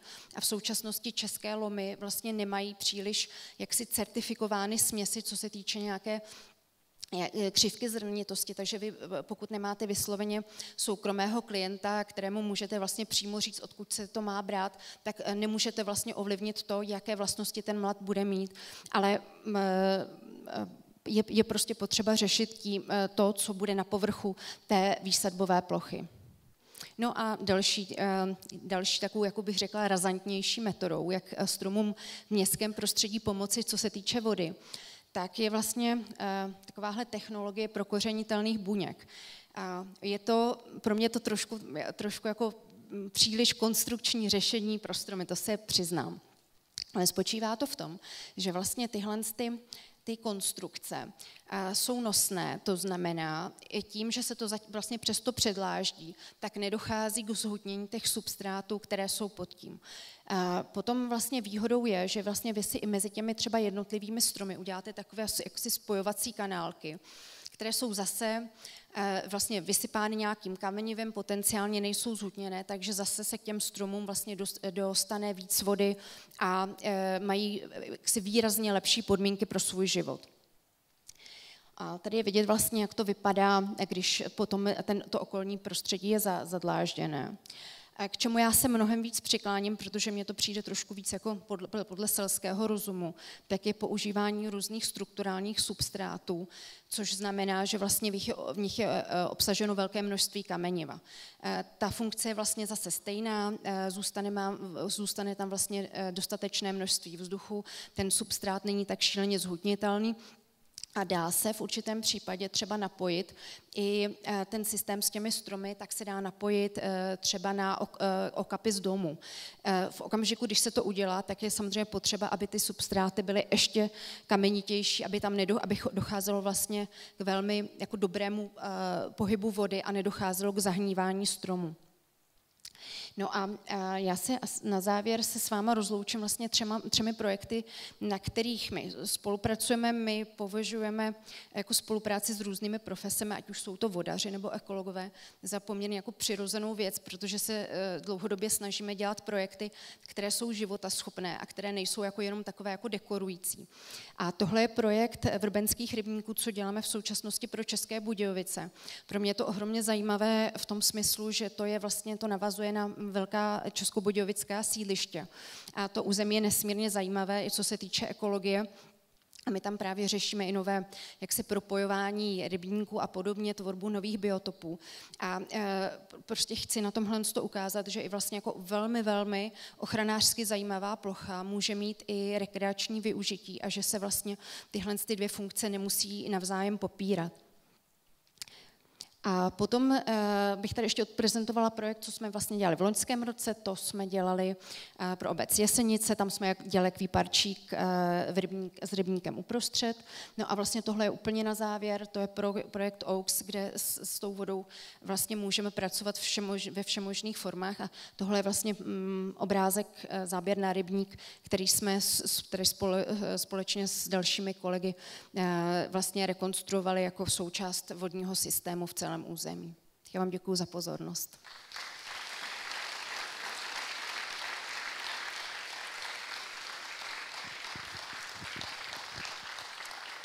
Děkujeme moc. Neutíkejte, rovnou, rovnou tady zůstaňte prosím na pódiu, ať nemusíte zbytečně nahoru a dolů. Dobrý, já bych teďka, pardon, já bych teďka pozvala uh, všechny naše uh, hosty, kteří hovořili na pódium, abychom začali uh, panelovou diskuzi.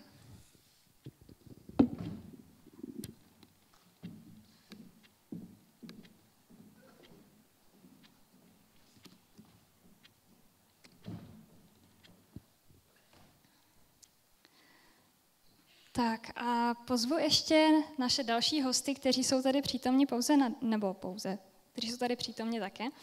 To je pan Daniel Pitek. Zvu vás na pódium.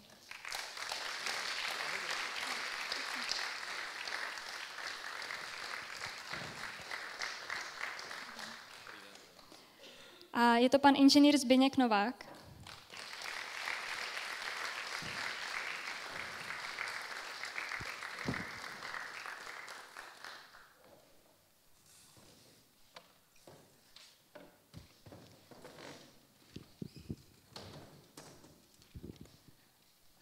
Tak, uh, já bych nějakým způsobem uh, představila naše další hosty, kteří ještě nehovořili. Uh, začnu panem Danielem Pitkem.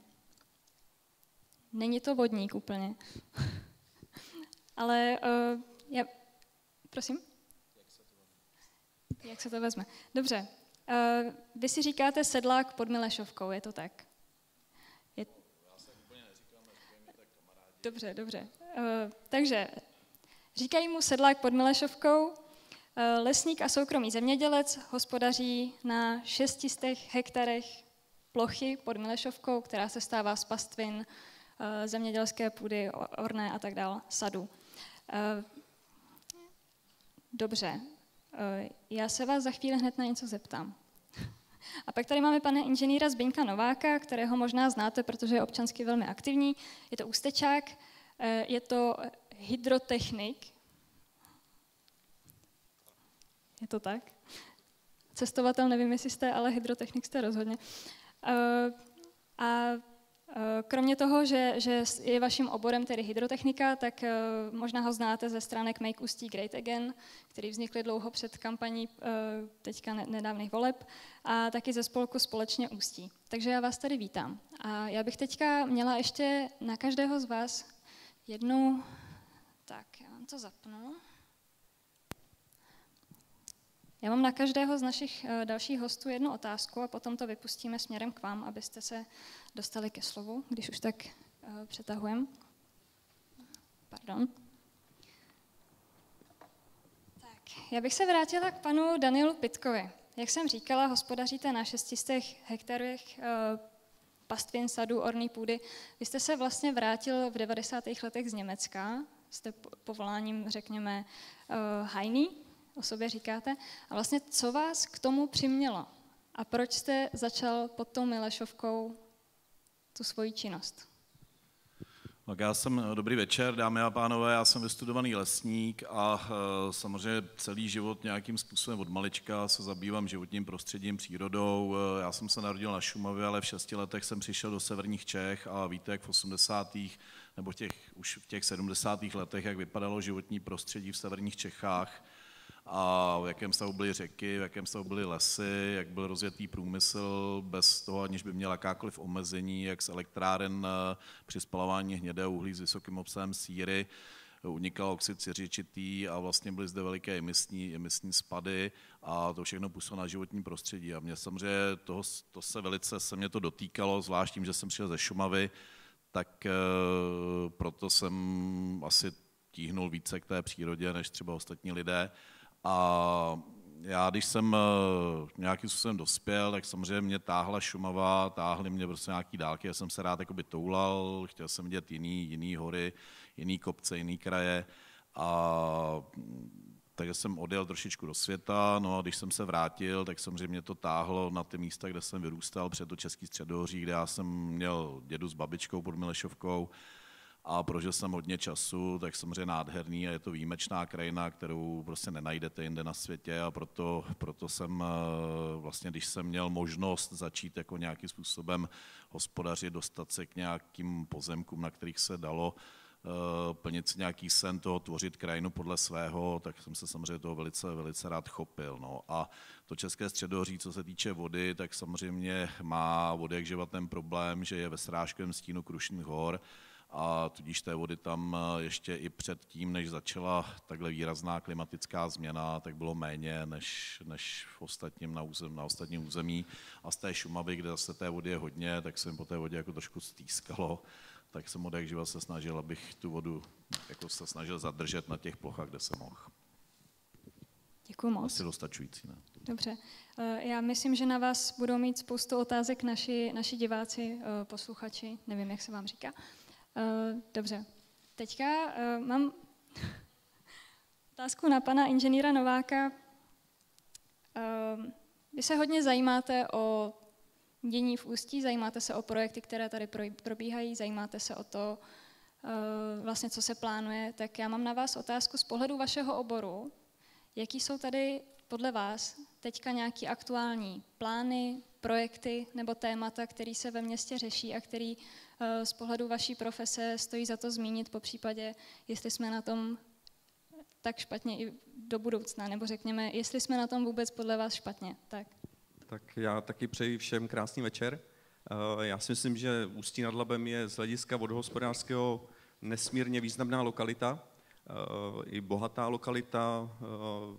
To město v podstatě závislé na těch, na těch řekách. Labe se dostalo do názvu města, Bílina se tam dostala nepřímo. Když si vezmeme tady naší hlavní, hlavní e, třídu v Ústí nad Labem Masarykovou, tak to je v podstatě jenom údolnice Klíského potoka, který teče tady pár metrů vedle nás pod těma fošnama. A, ale a, eh, když si to tak vezmu, tak eh, na druhou stranu my se k těm, těm řekám zase tak moc hezky nechováme. A to, co se tady eh, připravuje, eh, bylo hlavně v loňském roce, kdy tady vznikla studie, která se jmenuje Modrá a zelená infrastruktura, eh, což je zeleň a voda ve městě, která je jedním z hlavním podkladem pro zpracování nového územního plánu. Můžete ji najít na stránkách města. Eh, zpracoval ji teda ústecký architekt eh, pan Luboš Kotyš ve spolupráci s architektem Jandou. Ta se teda zabývá jak labem, eh, tak řekou Bílinou, ale vedle toho je tam uvedeno, že tady máme v Ústí nad Labem ještě dalších 19 menších vodních toků. Já si myslím, že mnoho ústečanů ani tyhle ty vodní toky nezná. A my v podstatě nevyužíváme ten potenciál těchto, těchto toků. Eh, často je bereme spíš jako takový eh, zdroj nebezpečí a eh, když vždycky z něčeho máme strach, tak občas si jako se rozhodujeme trošku iracionálně, takže stavíme kolem nich vysoké zdi a dáváme je pod zem, aby je snad nikdo neviděl. Příkladem je třeba ta bílina, která nemá moc teda dobrý jméno, nejen tady v Ústí nad Labem. tak tam se tak dělá hodně toho, aby, aby se tam skoro nechodilo. Přitom je to krásné místo, ale abyste se tam kolem toho prošli, tak potřebujete mačetu. A mně se líbilo v té studii, co je uvedeno, co tam pan architekt Kotyš eh, píše, eh, je, že bychom měli apelovat eh, na vodohospodářské orgány a stavební úřady v tom, aby se nepodporovalo zatrubňování toku. Což si myslím, že tady u nás ve městě, ve městě poměrně dost častý jev a bylo tady už několikrát zmíněno, že to není to, to optimální. Kolikrát ani tady ve městě nerozeznáte, jestli se jedná o zatrubněný tok, anebo jestli je to nějaká kanalizace, bohužel. A uh, já si myslím, že, uh, že tohle je určitě ta cesta, kterou bychom měli jít. Dobře, děkuji moc. To, jakým způsobem se ta zakázka zadávala nebo jaká je její kvalita, to je rozhodně diskutabilní a možná je úkolem přípravy územního plánu eh, tady to nějakým způsobem zhodnotit, takže to je jenom eh, dodatek. Já bych teďka, eh, jak jsem slíbila, to ráda vypustila mezi vás, protože nechceme si tady povídat úplně sami. Takže jestli máme, máme někoho, kdo má mikrofon a, a dotaz. Jo a pr- prosím vás, já, já opravdu jakoby špatně do toho uh, publika vidím, takže když tak uh, mi to nemějte za zlý a snažte se hlásit uh, výrazně. A poprosím vás, Eh, stručné dotazy, představte se nám a řekněte nám, koho se na co ptáte. Děkuji moc. Dobrý večer, Jakub Žídek. Já mám dva krátké dotazy. První úplně konkrétní na paní architektku. Když zmínila ten průměrný věk stromů v Praze, tak eh, jaký je vlastně to správné číslo, nebo jaký by mělo být to optimální číslo? Uh, ono je to, uh, ty, ty rozdíly v, té, v, v tom věku jsou, jsou daný hodně druhově. Uh, na druhou stranu je tam potom ještě efekt a ten je negativní a to sice je-li strom ve spevněné ploše, tak u některých druhů, co jsou třeba jeřáby, tak dochází ještě k snížení toho věku třeba na polovinu. Jo, ale ona vyšla v, před pár lety v Berlíně nebo v Německu studie, která tohle to porovnávala a třeba u platanů to může být 80 nebo 100 let. Jo, ale e, i vy sami vidíte, že často třeba dřeviny, které se vysazovaly za první republiky, tak teďka jsou to krásné stromy, fungují, ale to, co se vysazuje teďka, tak vlastně oni ty stromy vůbec do toho stavu nejsou schopny dojít. Těch vlivů na to je mnohem víc, než teda já jsem zmínila. Ono je to taky z toho důvodu, že se během v posledních let eh, tak se strašně snížila kvalita rostlinného materiálu. Je to v podstatě úplně stejný jako, eh, když to řeknu, produkce aut. Jo. Ty, je to vy, vy, vysoce obrátkový zboží a ty stromy jsou vlastně eh, v mnoha školkách vlastně fungují vlastně na kapačkách a vy potom, když je vysadíte do reálného prostředí, tak ty tak růst, vlastně nerostou příliš dobře. Takže těch faktorů je skutečně dost. Na druhou stranu my víme, jaký faktory to jsou a eh, bylo by potřeba, kdybychom jako to uměli zohlednit i třeba při výběrových řízeních a podobně, což teda nemám dojem, že se nám jako v Česku daří. Děkuji. A druhý dotaz obecnější a pak to hned, eh, a nevím na koho, nechám to na vás, eh, a to je váš názor k aktuálně diskutovanému projektu eh, velkokanálu Odra Dunaj Labe.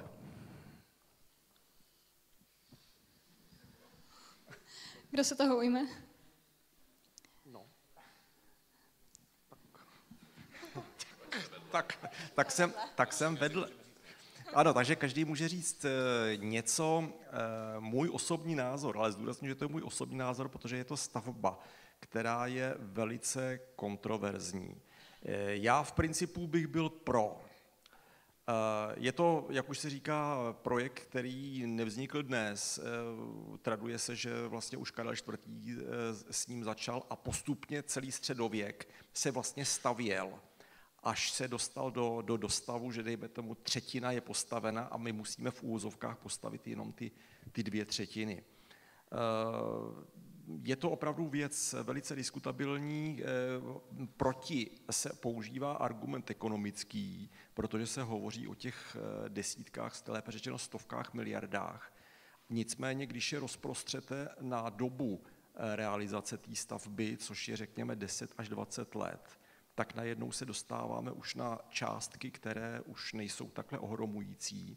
a podle mého názoru je, je to stavba, která plní dvě kritéria a to je ekologická doprava, protože si vezměte, že ještě před 20-30 lety se obecně považovala vodní doprava v evropském kontextu za jednu z nejekologičtějších, samozřejmě s limitama, že to je doprava pomalá, nemůžeme, tam pěst, nemůžeme takhle dopravovat rychle kazící se potraviny, ale přesto opravdu nejekologičtější. V současné době nejvážnivější odpůrci jsou právě ekologové. A ten druhý argument je, že to je v podstatě stavba, která je vodohospodářská a k tomu byste, by se tady asi ty vodohospodáři technologové vyjádřili lépe než já jako hydrogeolog, ale rozhodně nám jako v republice, a to jako vodohospodář můžu s plnou zodpovědností říct, chybí nástroj na přelévání a v podstatě regulaci vody v jednotlivých oblastech. A nechci se za, za, za takže já za, za, mě, za mě říkám ano. Mě by zajímaly uh, velmi krátká stanoviska ostatních, jenom kdo chce. No, já mám-li mluvit za sebe, tak bych eh, řekl ne.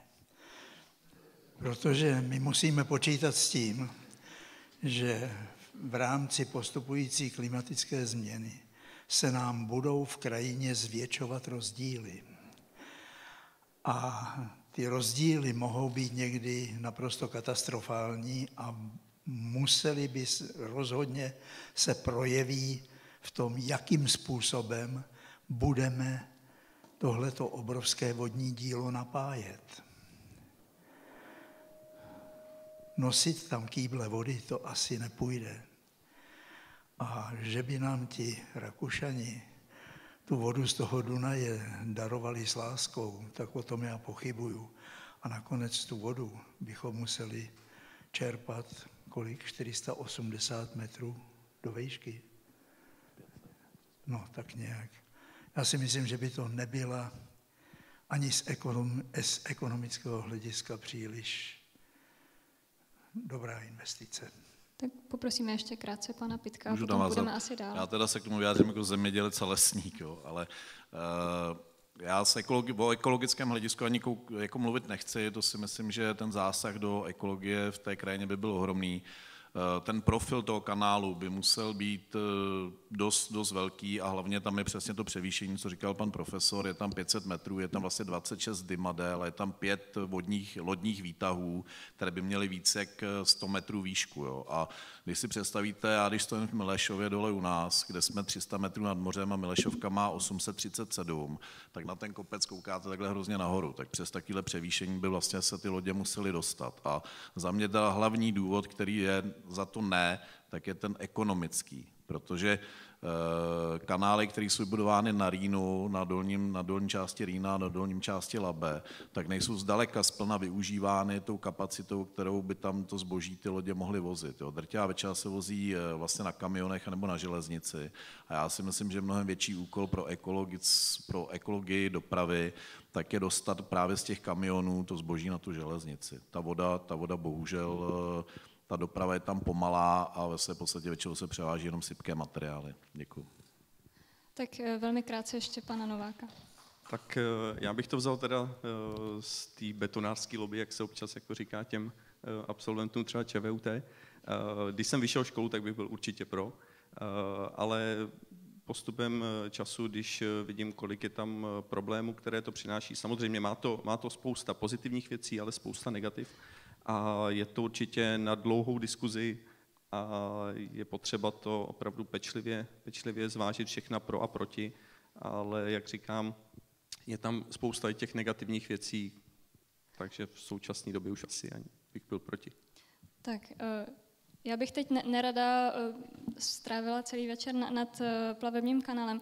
Každopádně všímám si tady celkově i v těch přednáškách, i teďka jakoby ve vašich, řekněme, odpovědích jedné věci, a to je, že to je nějaká neustálá vlastně diskuze mezi tou přirozeností a tou technologií a že některé ty, ty přístupy jsou víc, řekněme, takové jako uh, chlapské, technologické, ve smyslu uděláme tady jedno velké, jednoduché řešení, neříkám, že jednoduché, ale jakoby technologické.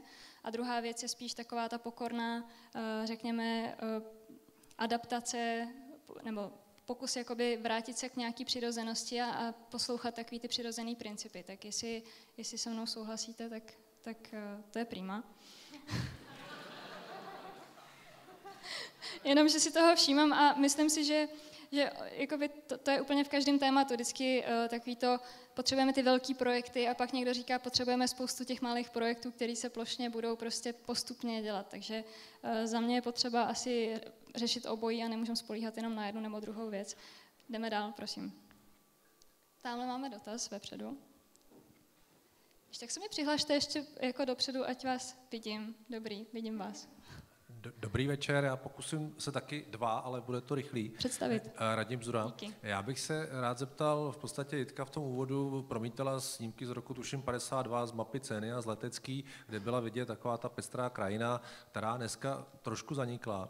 Ale já bych zůstal v Ústí nad Labem, kde vlastně eh, Ústí nám pohlcuje divoká zeleň, nekultivovaná zeleň eh, a to okolí, jako je Chudirov, eh, Přestanov, Libouchec, v podstatě dneska jsou pastviny dvakrát ročně sekané louky a zmizely ty pestrá, nebo ta pestrá políčka. Jsem se chtěl zeptat, jestli to je z principu přírody špatně, protože my dneska říkáme, už to není tak pestré jako dřív, a byť je ta krajina divoká, lesy neudržované, pole plné bodláků, ale zajímalo mě z pohledu třeba přírody, jestli pan profesor by nebo Dan Pitek odpověděl, jestli to je z pohledu přírody špatně.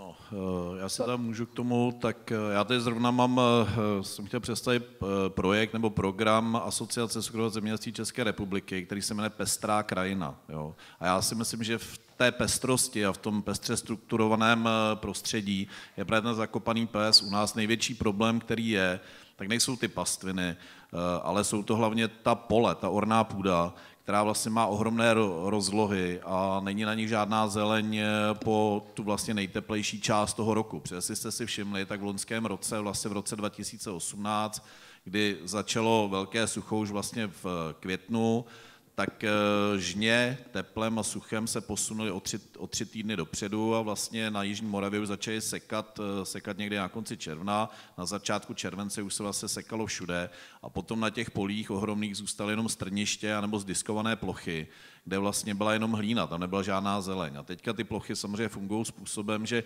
když na to praží slunce, tak od té hlíny vlastně se ta energie sluneční odráží a násobí se a ovlivňuje vlastně tím oteplením vlastně ty ostatní plochy, třeba les, který je vedle. A samozřejmě, když tam na těch plochách máte zeleň, tak tu transpirací těch rostlin, tak samozřejmě se ta atmosféra ochlazuje a funguje to jako přirozená klimatizace. Takže úplně zásadní, co je, aby všechny ty zemědělské plochy měly co možná nejvíce v tom roce na sobě nějakou vegetaci, která vlastně jakoby eh, ochraňuje tu půdu.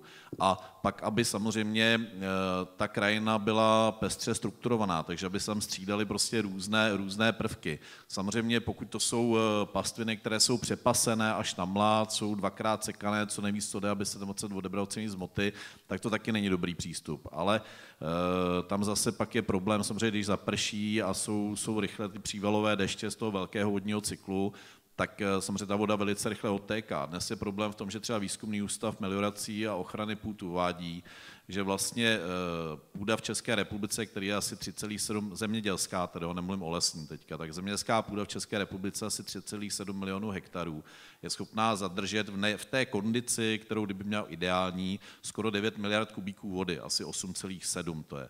A v současné době je ve stavu, kdy zadržuje 5 miliard kubíků vody ten rozdíl, to je nějakých 40% vlastně té schopnosti, co by ta půda byla schopná zadržet. A je to násobně víc, než jsou všechny přehrady, které jsou v České republice. Jo, takže my máme ohromný potenciál, jenom tím, že se vlastně o tu půdu špatně staráme, o tu krajinu, máme ji špatně strukturovanou a zároveň ta půda ztratila schopnost eh, zadržovat vodu, tak eh, ve své podstatě si vytváříme tu situaci, kdy té vody máme málo, i přesto, že ta úroveň roční úhrn těch srážek vodních, tak je přibližně, přibližně stejný. Takže za mě krajina musí být pestrá, pestře strukturovaná, musí tam být co možná nejvíce krajinných prvků, co možná nejvíc, nejvíc různých plodin a musí tam být malé půdní bloky, které prostě musí být zase rozděleny různými krajinnými prvky, ať už, ať už to jsou průlehy, příkopy, jim zatravněné údolnice, nebo to jsou meze s keřemi, stromy, solitární stromy v tom. A pak samozřejmě mezi tím musí být dostatečný počet lesů. My těch lesů máme u nás dneska nejvíce, ve své podstatě skoro, co jsme měli, dejme tomu od 18. století, kdy bylo asi 17% republiky, nebo to území zalesněno, pardon, to byla republika ještě, Dneska máme skoro 38%, eh, za socialismu to bylo nějaké asi 34%, ale problém byl v tom, že ta struktura těch lesů byla naprosto tragická. Když vlastně minister Jurečka někdy před pěti lety říkal, že máme lesy v nejlepší kondici, že máme největší zásoby dřeva na hektar, máme největší výměru lesů, tak už zapomněl dodat, že ta struktura je tak špatná, že to jsou vlastně jenom plantáže na dřevo monokultury. A dneska vlastně po pěti letech zjišťujeme, že jsme na začátku ohromného průšvihu, že ty lesy se plošně rozpadají. A my už dneska jako společnost máme sílu, aby jsme zastavili tu kurovcovou kalamitu. A tam je další dopad, že samozřejmě všechny tyhle ty plochy ztrácejí schopnost tu vodu absorbovat a ta voda se bude velice rychle otékat. Takže je potřeba, aby byla pestrá ta krajina. Děkuji. Já, jestli, no. Uh, já, já bych poprosila, prosím, další dotaz. Já jsem, já jsem chtěl navázat, tam bylo zmíněno uh, nějaký úřad pro melioraci a my jsme si o tom i psali. Mě by zajímalo, tady se furt diskutuje, že odtéká voda a tak dále. Přitom vlastně ta naše česká krajina, aspoň tady v Sudetech, je v podstatě meliorovaná. My uměle odvádíme vodu z luk, lesů a přesto naříkáme, že tady není voda. Tak pro mě jako není nic našího, než ty meliorace, které vznikly v nějaké době, kdy byl jiný srážkový úhrn, prostě změnit a je po problému. Aspoň tak to vidím jednoduše laicky já, jakoby, jo. Poprosíme o, o velmi krátkou reakci teď a půjdeme dál. Meliorace se samozřejmě dělá se za socialismu 70. 80. roky. Uvádí se, že samozřejmě meliorace jako taková sama o sobě není jenom jakoby eh, něco špatného. Protože meliorace může být chytrá, která naopak tu vodu i zadržuje v té krajině. Jo. To není jen, že odvádí. Bohužel za těch komunistů se ty meliorace udějí ty nejstupidnější, kdy tam jsou trubky a frčí to okamžitě pryč. Takže a uvádí se, že samozřejmě minimálně třetina těch, těch zmeliorovaných ploch se zmelioruje naprosto zbytečně. Příkladem je České středohoří ve srážkovém stínu Krušných hor, louky, které byly trvalé trvale podmáčené nebo mezofilní vlhkomilné louky a byly tam třeba koniklece, zmeliorovali se, spousta těch druhů zmizela, ty plochy se vysušily. My třeba kolem Milešovky jsme udělali 40 tůní právě na těch zmeliorovaných loukách, kdy jsme vytrhali ty skruže, zacpali jsme otok, nechali jsme přítok, udělali jsme tam nějaký tvar té tůně a těch tůní to máme hromadu, zaplať pámu to tu vodu zadržuje a už tím přelivem potom, který se tam na tom vytvořil, tak ta voda pak už přirozeně stéká do té louky a tou loukou už teče dál a vlastně jakoby zamokřuje to prostředí a je tam samozřejmě ten odpár a pomáhá to i tomu malému vodnímu cyklu. Děkuji. Tak děkujeme. Tamhle máme, uh, já se o, uh, já bych to chtěla vzít po pořadě, jako tamhle máme uprostřed uh, muže s černým knírem. Dobrý večer, já jsem Martin Vohrelík a jsem ze zprávy HKO. Nevím, jestli vám to mám říkat rovnou, ale radši jo. Já jsem vás poslouchal teda celý večer, nějak jsem se možná přeslech, ale nedozvěděl jsem se, jaké jsou ty kroky, konkrétní kroky k udržení vody v krajině. Jo? Teď můj dotaz by teda šel na pana profesora, pana docenta, protože pan Pitek zmiňoval teda nějakou mozaikovitou krajinu, zalesňování. Je pravda, že máme nejvíc zalesněnou krajinu od roku 1800. O tom, no, dlo, za dlouho. jo, takže v tom vysazování stromů asi moc cesta nebude, anebo ano? Otázka. Velice krátce. Podívejte, česká krajina není ani středoazijská step a není to taky americká prérie, kde jsou stejné podmínky od obzoru k obzoru. My máme v podstatě nejpestřejší geologickou skladbu krajiny v celé Evropě. Takových území, jako máme my u nás, snad je najdeme v Bádensko-Württembersku, v Jižním Německu, anebo Massiv Central ve Francii úžasně pestrá geologická skladba, která dává vznik různým typům půd. A my všechny tyhle ty půdy obhospodařujeme které jsou naprosto rozdílné, my je obhospodařujeme stejným způsobem. To je naprostý nesmysl. Takovým způsobem tu naší krajinu obhospodařovat nemůžeme. S tím souvisí i ten způsob obhospodařování vody. My musíme taky počítat s tím, že pokud klimatická změna půjde dál touto cestou, tak se nám rozdíly, ekologické rozdíly v krajině budou zvětšovat. Suchá území budou dále vysychat a může tam dojít až ke kritickým situacím, že se nám budou vracet stepní situace, jaké máme, jakých máme malé zbytky dneska právě ve Středohoří. Na těch nejvyšších vrcholech, které mají nejméně vody. Může se stát, že se nám ta stepní vegetace bude rozšiřovat do těch nižších oblastí. Zvlášť při takových způsobech hospodaření, jaký provozujeme v současné době. Takže my bychom se touto situací měli zabývat velice podrobně a my k tomu máme dneska u nás množství vědeckých informací. Bohužel, ale politika o tyto vědecké informace má v podstatě nepatrný nebo spíše žádný zájem. Děkujeme. Poprosíme uh, další dotaz. Uh, tady vepředu pan s bílým knírem. Dobrý večer, já se jmenuji Jiří Zima a mám dva takové krátké dotazy.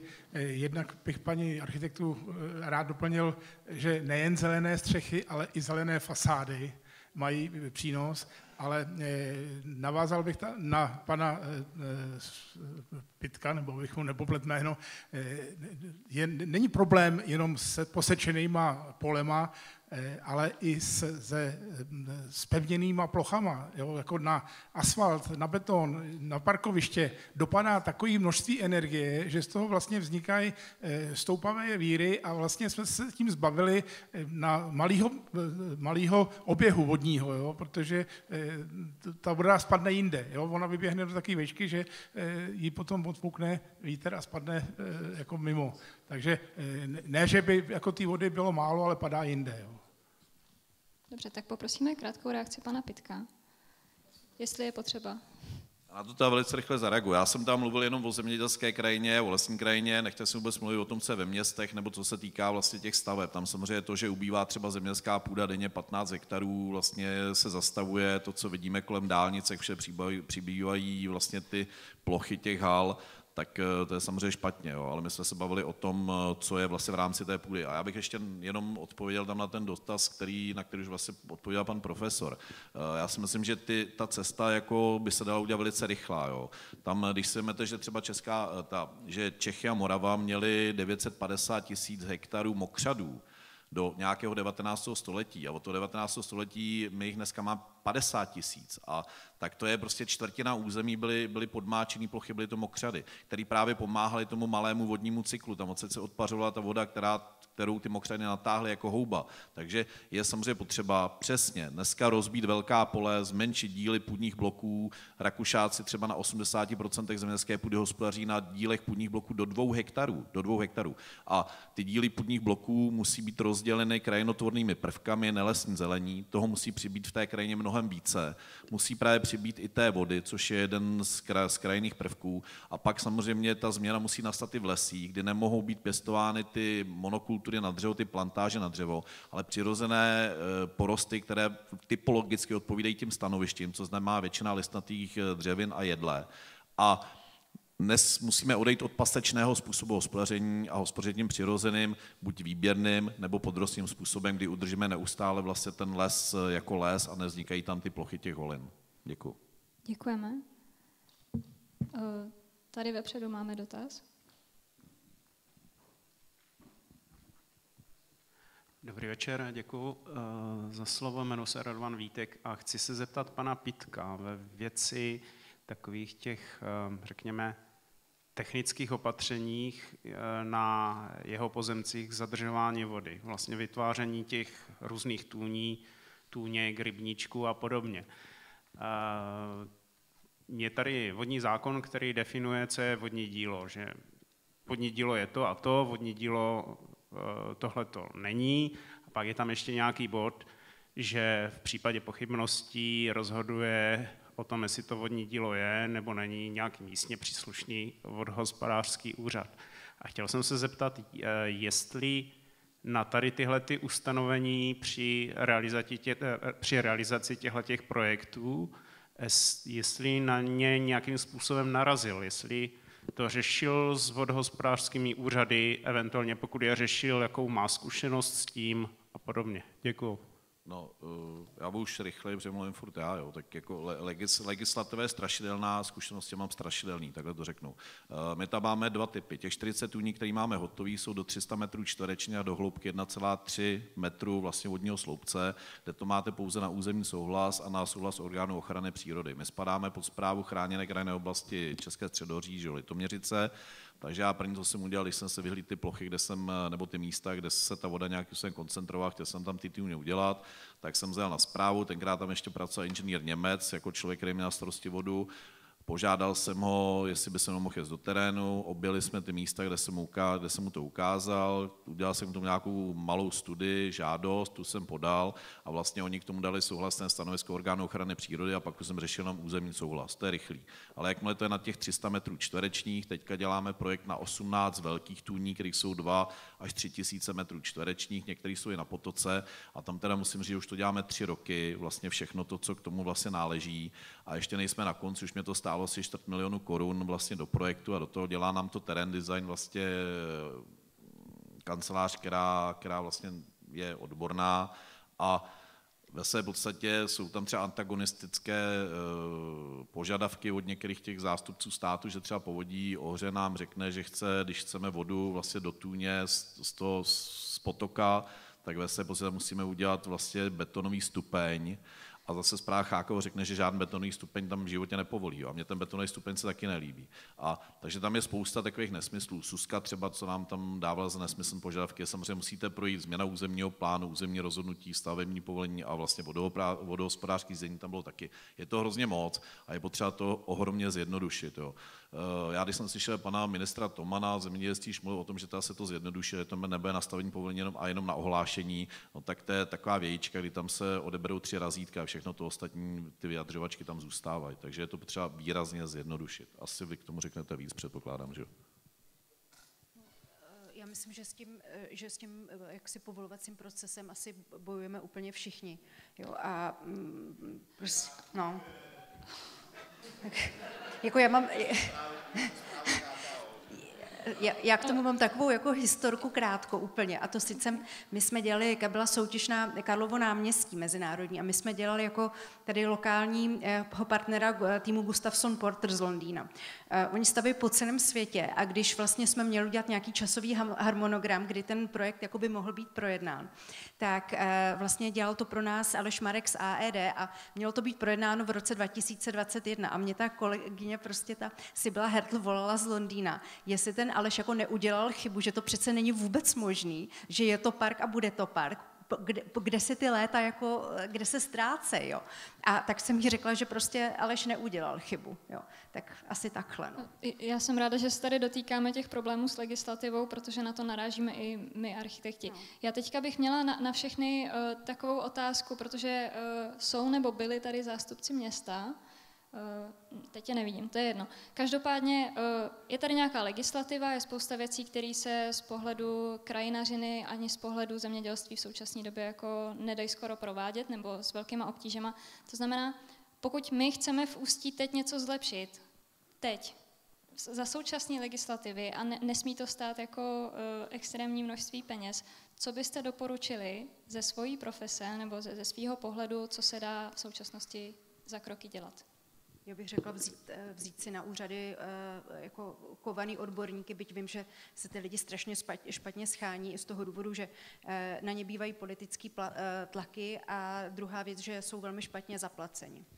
Rozumím. A kdybyste šla konkrétně k těm řekněme, máme tady problém sítě versus stromy, že se to, nedají vysazovat stromy. To znamená, jakoby, co se z vašeho pohledu dá dělat ve městě, v normálním městě, který chce prostě teď začít něco dělat s modrozelenou infrastrukturou? Eh, určitě na tyhle ty projekty dělat jakoby projektové skupiny a všechny tyhle ty sítěře a podobně dostat k památkáře třeba, dostat k jednomu stolu, aby ty lidi byli nuceni poslouchat argument i toho druhého a ne jenom vlastně si napsat to za sebe, protože potom máte vlastně hromady stanovisek, které jdou, jak už tady bylo slyšeno nebo řečeno, tak jdou proti sobě. Takže za mě určitě vlastně takhle kulatý stoly, aby, aby mm, prostě se ty lidi museli poslouchat. Děkuji. Tahle otázka na mě bude trošku komplikovaná, protože já jsem takový zvláštní exemplář, protože... Nemusíte odpovídat, jestli Ne, já, já, to, já to zkusím, protože já se zabývám podzemníma vodama. A vy tady vlastně v Ústí eh, nemáte problém s podzemníma vodama, protože vy jste naopak.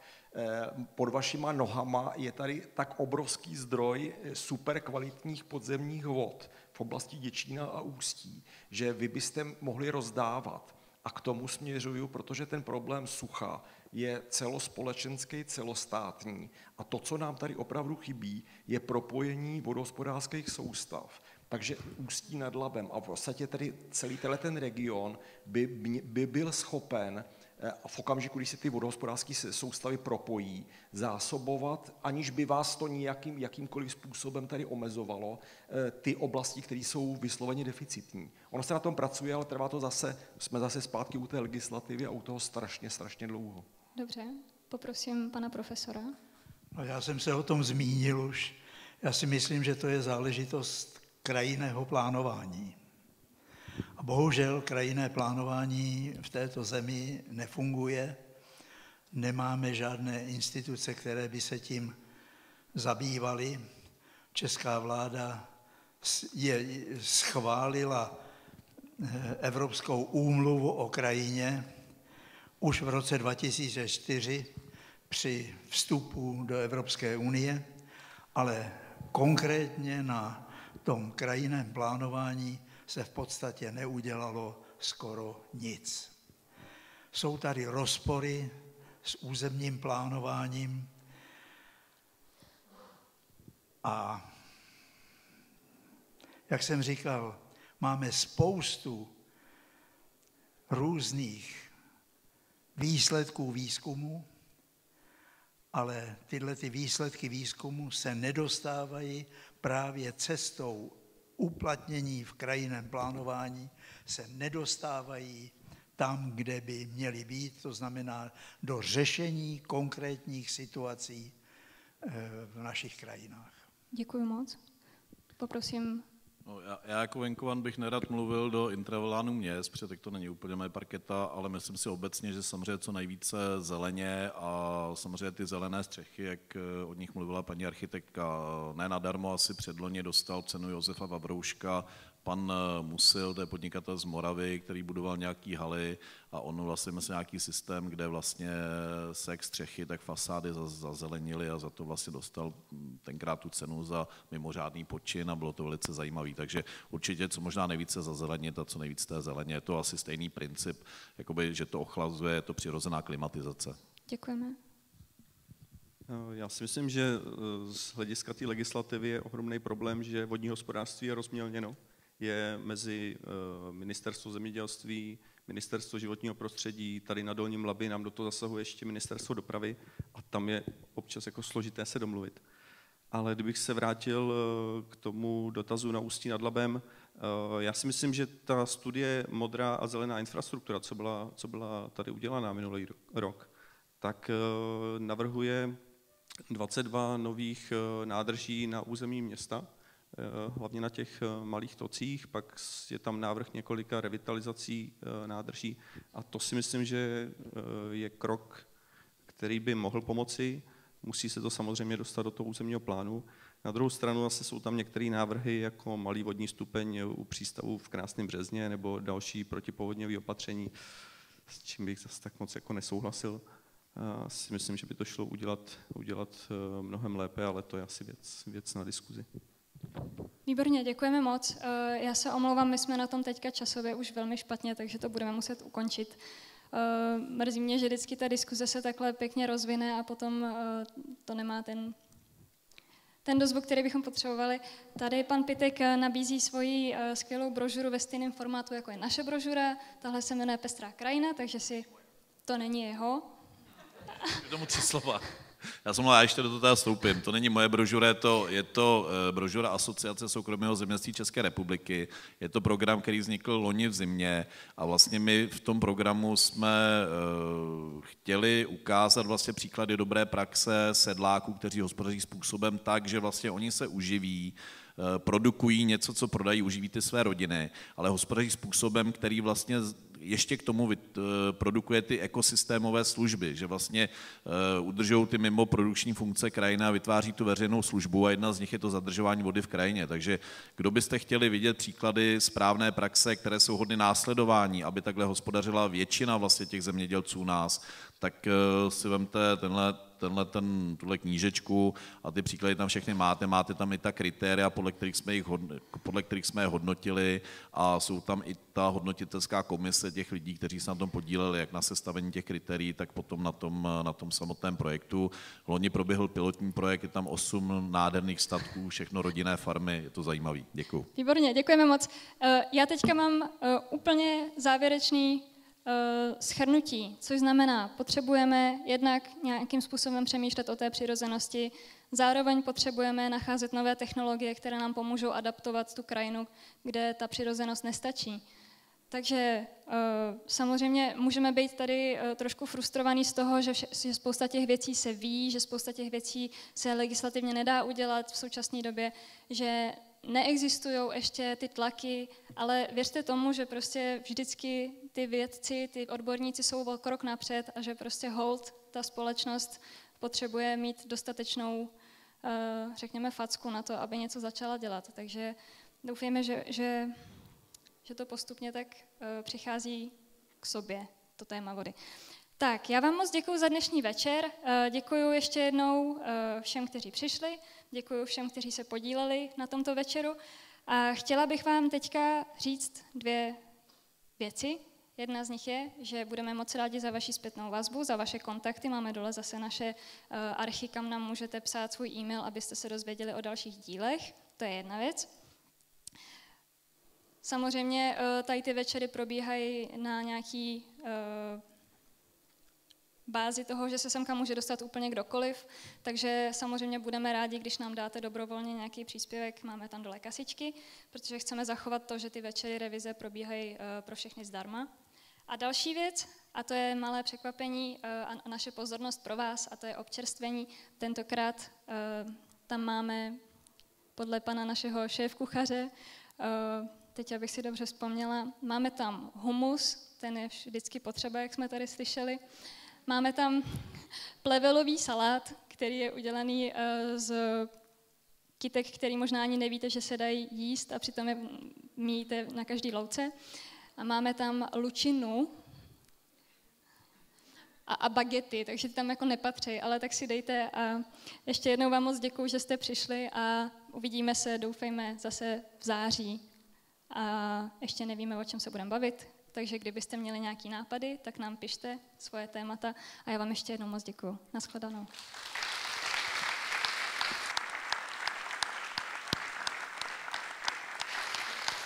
A ještě, ještě pro ty, kdo jedou vlakem, tak máte teďka právě asi tak 16-17 minut, takže můžete si dát závody.